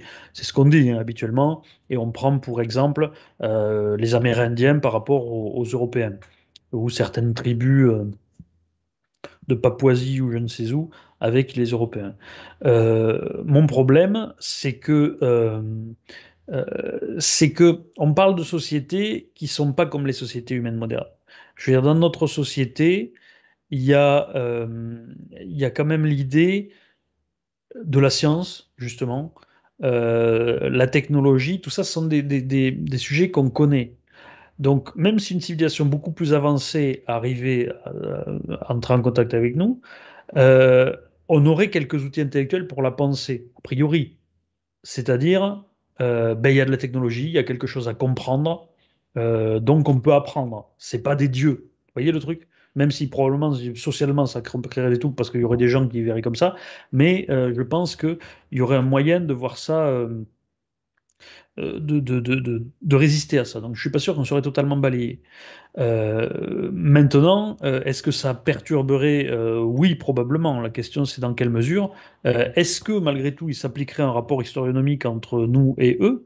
Est-ce que toutes les intelligences, euh, comme l'intelligence humaine, donc toutes les intelligences euh, euh, de type humanoïde en tout cas, euh, sont régies par les mêmes règles historionomiques est-ce que si vous prenez une civilisation extraterrestre euh, que vous laissez pendant 700 ans, vous vous retrouvez avec une démocratie parlementaire, par exemple, les États nations C'est une question, ça. C'est c'est pas sûr, mais peut-être. Peut-être. Euh, donc ça, c'est une question très intéressante. Euh, après, bien sûr, se pose la question de savoir si, alors vous savez, c'est toutes les bon, je, j'en ai pas parlé, mais il faut quand même dire deux mots. Tous les grands trucs sur le paradoxe de Fermi, hein, c'est-à-dire euh, s'ils existent, où sont-ils? On devrait déjà les voir, etc. Euh, ce à quoi répond finalement la, thèse du, zoo, hein, c'est-à-dire l'idée que euh, les, extraterrestres nous préservent. Alors certains se disent oui, mais c'est pas très crédible. Sauf que c'est ce que nous faisons nous-mêmes. Il y a des euh, en tout cas des réserves, où on ne touche pas la population, notamment les îles Sentinelles, je crois elles s'appellent, au large de, euh, de l'Inde, où il y a cette espèce de, de- population euh, très très agressive euh, si vous essayez de vous y pointer. Euh, bon, ben, le, le- les, les- les- les nations civilisées, on va dire, se sont mises d'accord sur le fait de ne pas aller foutre le pied là-bas, pour ne pas perturber ces civilisations. Donc, nous-mêmes, on le fait avec, euh, avec des populations humaines. Euh, pourquoi... euh, pourquoi, s'ils existent, euh, ces, euh, ces- extraterrestres ne feraient pas la même chose avec nous. Euh, pour le coup, s'ils raisonnent de la même manière, ça serait assez, évident. Peut-être, alors c'est la théorie d'un certain nombre, qu'ils surveillent le, qu'ils surveillent les installations nucléaires dans l'hypothèse où ils existent, encore une fois, hein, et où il y a effectivement des visites. Parce que je, n'affirme pas péremptoirement, hein, je dis que ça, mérite d'être étudié vu, vu les, les données qu'on a. Euh, mais dans cette hypothèse-là, euh, que on serait quelque part sur le point de rejoindre le club. hein. C'est comme dans Star Trek justement. Avec, c'est au moment où les, où les humains découvrent le, moteur à distorsion que les, les Vulcains viennent et se présentent. C'est dans Star Trek euh, Premier Contact.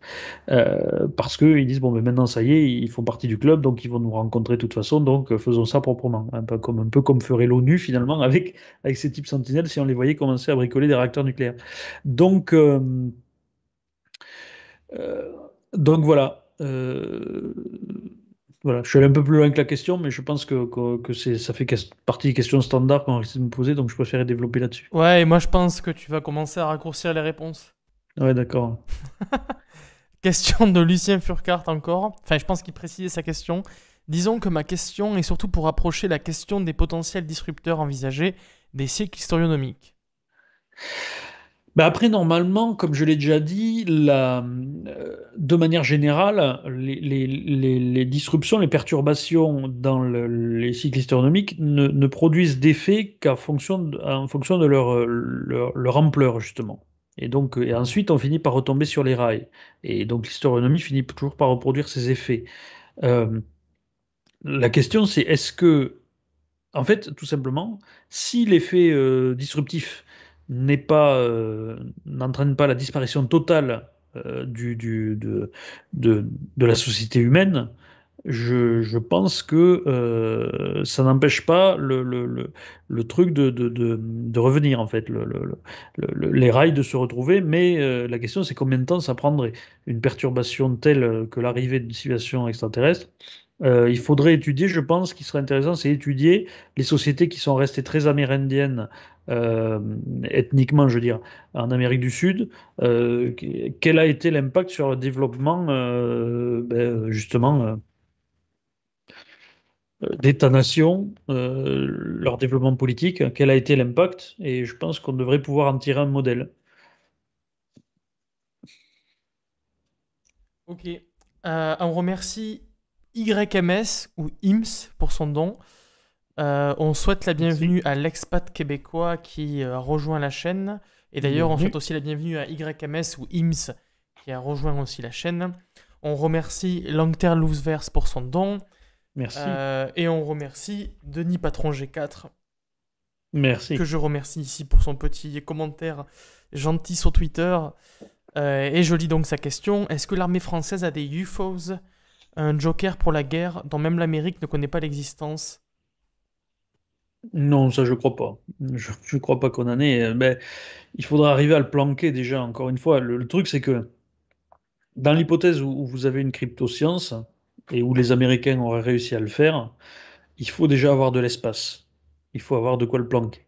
Et je crois que la, zone, euh, euh, zone qu'il y a de, Groom Lake aux États-Unis, enfin c'est vraiment, euh, c'est gigantesque, je crois. Je sais pas si ça fait pas presque la taille de la Suisse ou un truc comme ça euh, où les gens euh, où les gens sont pas censés aller.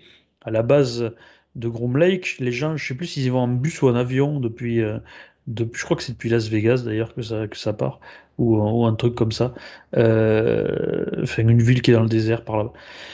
Et euh, donc déjà, il faut avoir de l'espace pour le planquer. En France, euh, pour planquer des trucs comme ça, euh, je sais qu'on a des endroits qui sont pas très peuplés, mais euh, ça paraît quand même compliqué. Pour essayer les appareils et tout, c'est, ça paraît trop compliqué. Il disait aussi I want to believe in Fabrisme. Uh, we all want to believe in Fabrice. Euh, on, remer- enfin, on remercie Babouche301 qui rejoint la chaîne. Merci. Donc, ça me ramène tout en haut. Question de cyberpunk. Pensez-vous qu'il y ait eu un échange de technologies entre les extraterrestres et les gouvernements, notamment américains? Ben ça, c'est la, grande question, en particulier euh, si, vous savez, si on a, si on a vraiment récupéré des épaves, euh, s'il y a eu des trucs comme ça, c'est une question qui mérite d'être posée. Euh, un incident comme le problème, c'est que c'est très embrouillé et que ça, devient impossible de se faire son idée. Et qu'à la fin, vous triez simplement en vous disant que bon, c'est l'hypothèse presque la plus décevante qui doit être retenue parce que c'est la plus raisonnable. C'est-à-dire qu'il n'y aurait rien eu. Euh, pour euh, l'explication du ballon, du ballon sonde pour, détecter les essais nucléaires soviétiques, le projet Mogul, pour pour l'affaire de Roswell, elle est, elle semble suffisante en tout cas. Donc on peut avoir envie de croire autre chose, de croire à plus, euh, en prenant notamment certains témoignages au pied de la lettre, par exemple le, métal qui prend sa forme, etc. tout de suite. Mais euh, je veux dire, bon, cette explication suffit euh, maintenant. Le, fait qu'ils auraient rien récupéré, ça repose quand même beaucoup effectivement sur la dénégation du gouvernement américain. Et avec cette dernière attitude du gouvernement américain qui a reconnu finalement l'incident du Nimitz, on peut se dire, est-ce qu'il n'y a pas d'autres trucs qu'ils n'ont pas reconnus? Euh, Il y a des gens qui ont rédigé des affidavits, c'est-à-dire des déclarations sous serment euh, aux États-Unis, euh, qui expliquant qu'ils avaient vu des corps ramassés, etc. à Roswell. Donc des gens qui, en plus n'ont pas d'intérêt particulier à le faire.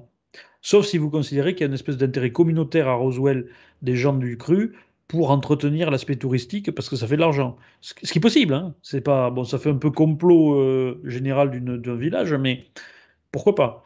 Euh, ça peut, euh, ça ça peut s'envisager. Du coup, à la fin, c'est embrouillé, vous pouvez pas en parler. Je crois que Luis Elizondo lui-même, dont j'ai parlé, dit que il y aurait eu des matériaux qui auraient été récupérés.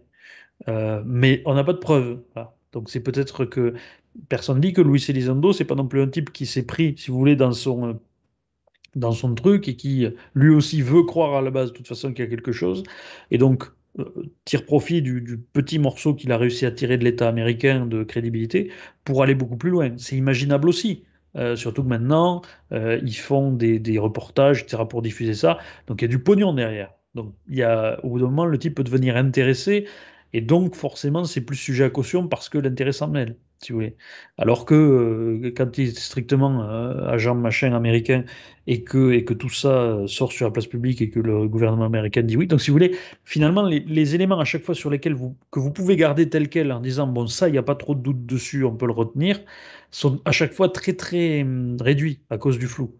Et donc voilà, si les Américains ont récupéré des morceaux, il est vraisemblable qu'ils ont pu faire du rétro-engineering, même si au début c'était pas facile, parce que par exemple, si on envisage qu'il y a des appareils comme ça qui fonctionnent en MHD, comme l'évoque Jean-Pierre Petit, bon, c'est le seul à avoir une théorie à peu près, parce que tous les autres qui parlent d'antigravité et tout, hein, je veux repose sur rien.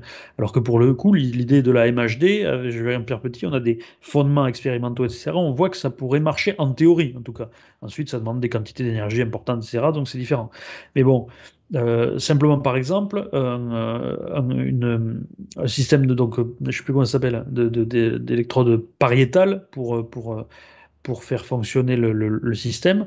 Euh, si c'est euh, de la nanotechnologie, euh, ben jusqu'à il y a récemment, peut-être jusqu'aux années 90-2000, euh, il devait être à peu près impossible de l'identifier. Ah, si vous trouviez ça dans les années 60, vous avez l'impression de voir un bout de métal, vous dites c'est du métal magique, c'est pas possible autrement. Donc, euh, donc même la rétro-ingénierie, c'est quand même assez compliqué à, faire sur des trucs à partir du moment où la distance technologique est assez importante. Il ne s'agit pas juste de démonter un chasseur russe, alors que vous savez, vous, que vous avez vos chasseurs, donc vous voyez à peu près les différents cas. Euh, si vous démontez un chasseur russe en, en, en 1650, vous ne comprenez absolument rien à ce que vous bricolez.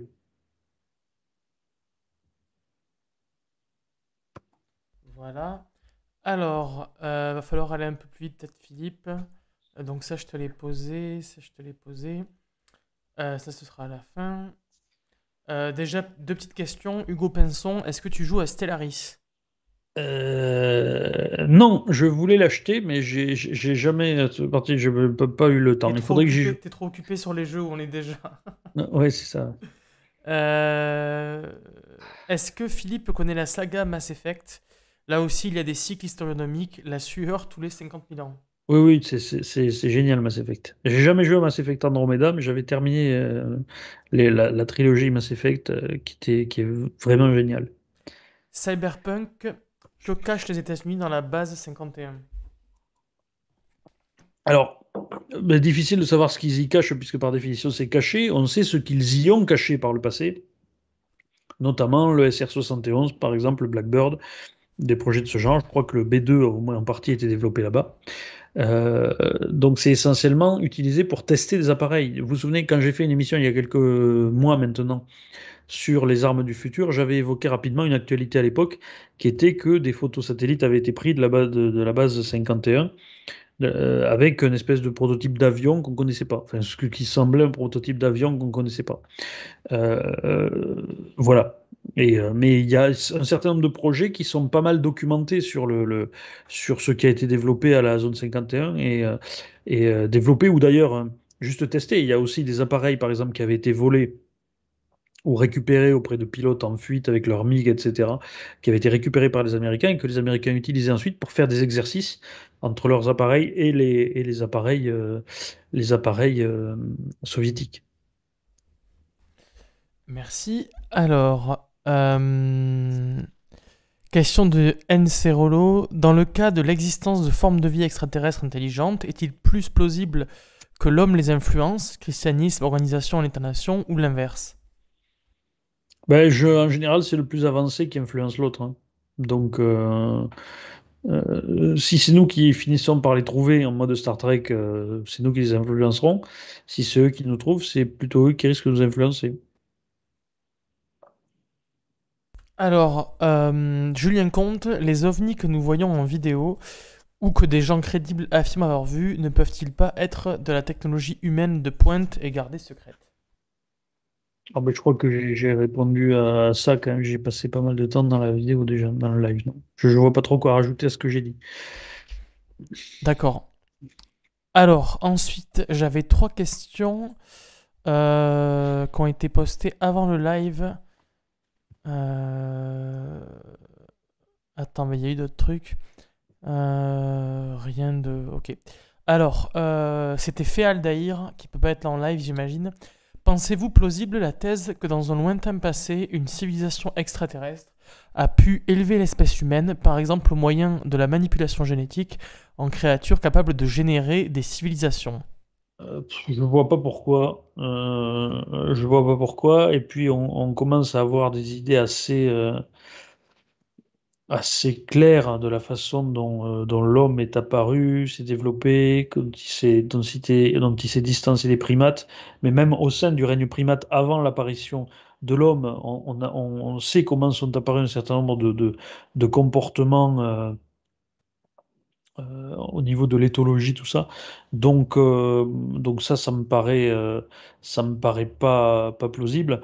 S'il y a bien des visites extraterrestres, en revanche, aujourd'hui, hein, comme avec le tic-tac, il n'est pas impossible qu'il y en ait eu dans le passé à titre d'observation, parce que pour un naturaliste extraterrestre, je pense, au fond, il ferait ce qu'on a fait, ce qu'ont fait les Européens au 19e siècle, et au XXe siècle avec les, avec les, avec les, les peuplades moins évoluées. Ok, deuxième question de Féaldaïr. Le programme SETI est un projet international visant à écouter, voire entrer en contact avec une civilisation extraterrestre. Ne pensez-vous pas que cette initiative nous soit à terme défavorable si une civilisation belliqueuse, genre conquistador des astres ou bédouin de l'espace, intercepte nos émissions et occupe notre planète? C'est possible. La question, c'est euh, est-ce qu'une civilisation euh, de ce niveau-là aurait besoin encore de faire ce genre de choses? Vous savez, c'est ça qui est assez douteux, je pense, au bout d'un moment. Et euh, si on veut imaginer le modèle théorique d'une société à l'échelle galactique qui correspondrait au moins, qui contiendrait plusieurs espèces, je pense que l'idée qui est présentée dans Star Trek, de, est assez, euh, est assez, euh, est assez juste.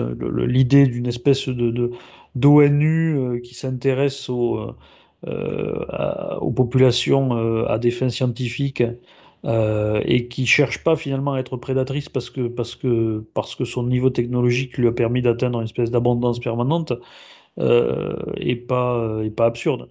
Maintenant, si en fait on découvrait que euh, il est radicalement impossible de terraformer euh, n'importe quelle planète et que donc les, les planètes comme la Terre sont de véritables joyaux rares et sont en soi une ressource, alors effectivement, ça pourrait être dangereux. Troisième question de Féaldaïr et dernière. Projetons-nous dans un futur relativement lointain, dans l'hypothèse qu'aucune civilisation extraterrestre nous ait contactés jusque-là.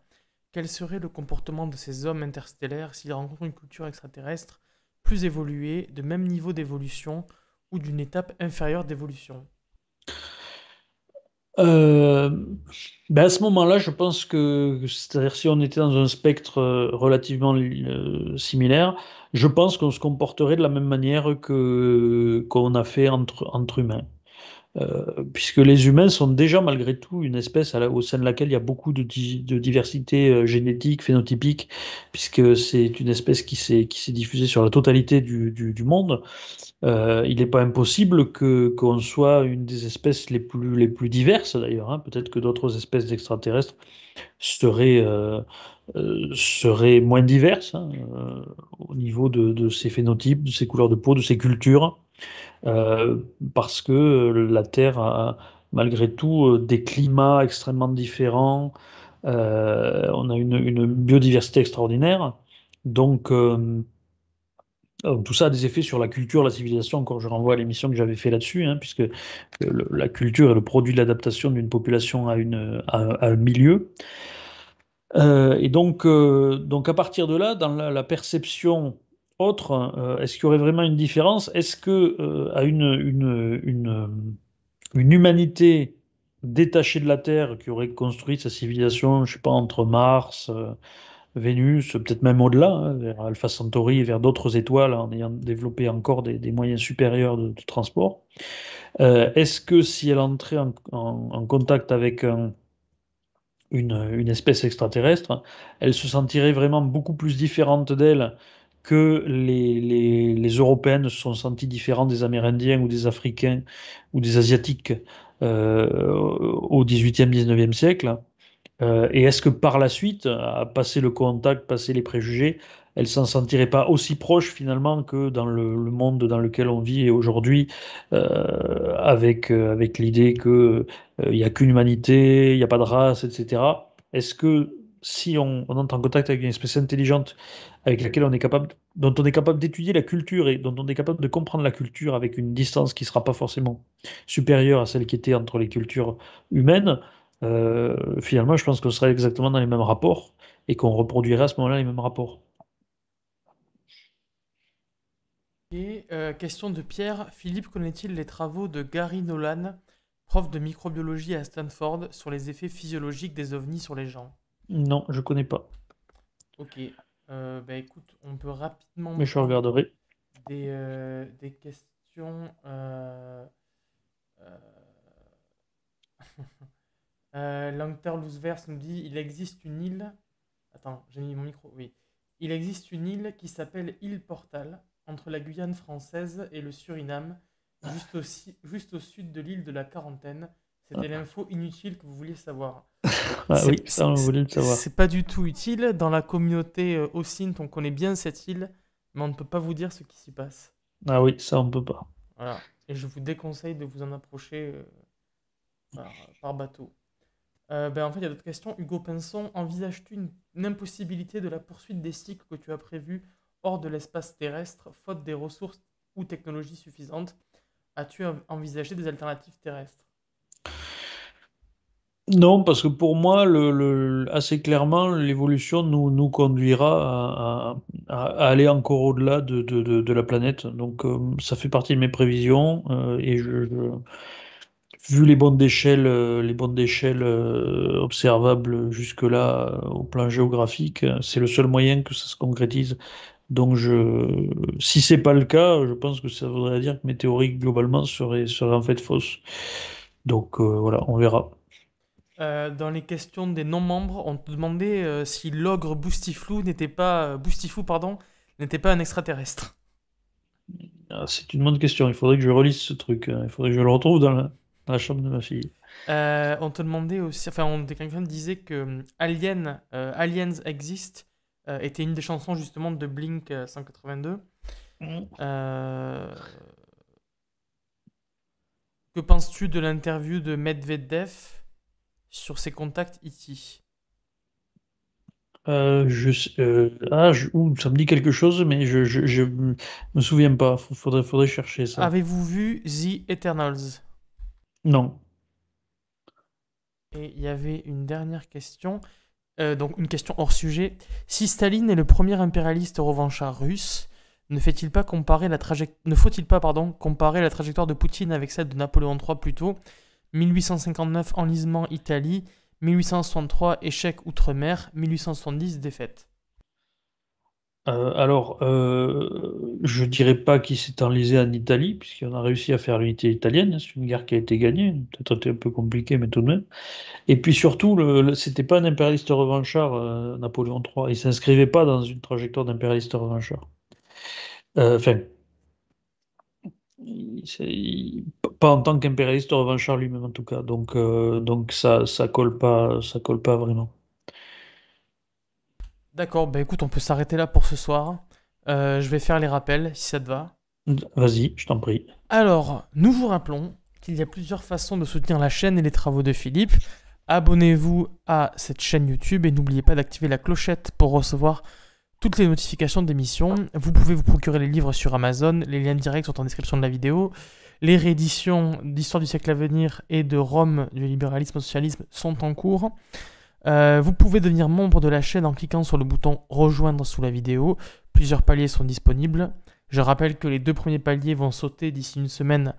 Euh, vous pourrez donc euh, rejoindre les paliers supérieurs, euh, qui deviendront donc les paliers de base. Euh, c'est l'échelle, c'est ça l'échelle. euh, non, je rigole.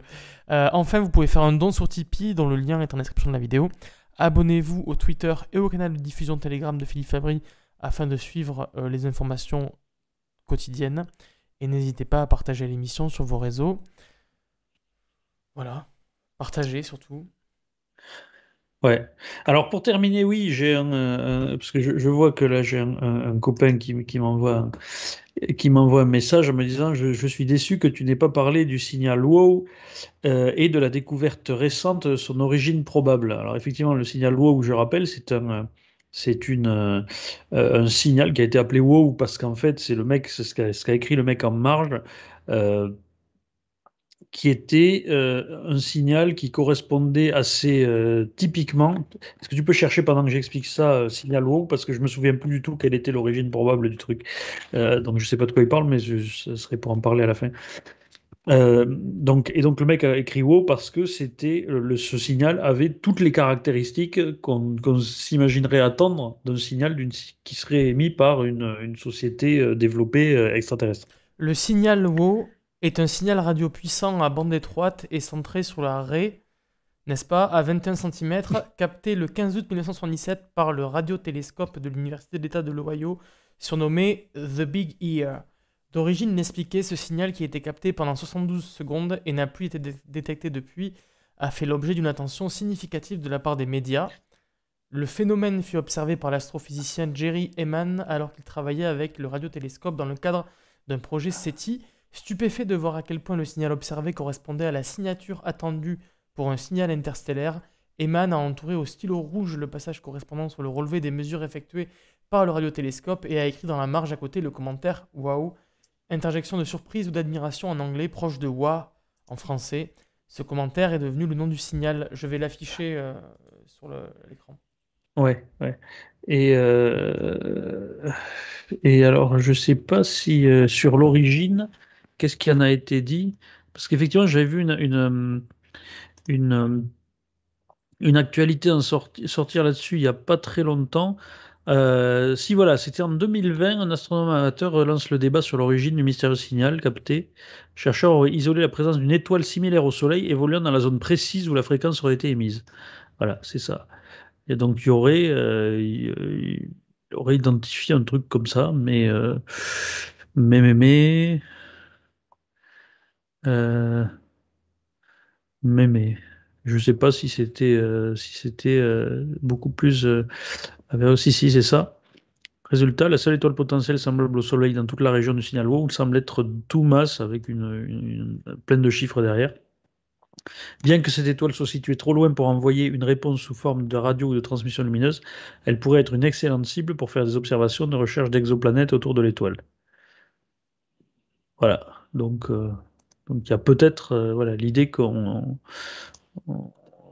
il y aurait, des, trucs. Mais bon, là aussi, encore une fois, on, on ne sait pas. Et puis, ça s'éloigne un peu de, du, de la pure note sur laquelle je voulais rester, c'est-à-dire cette, idée en tout cas que si vous n'aviez pas entendu parler de cet incident du Nimitz, euh, si vous n'avez pas entendu parler de ces divers témoignages de militaires surtout, hein, c'est ça qui m'intéresse, ben écoutez, vous avez tous les liens en description pour aller vérifier tout ça, puis ça pourra nourrir la discussion lors d'une prochaine émission.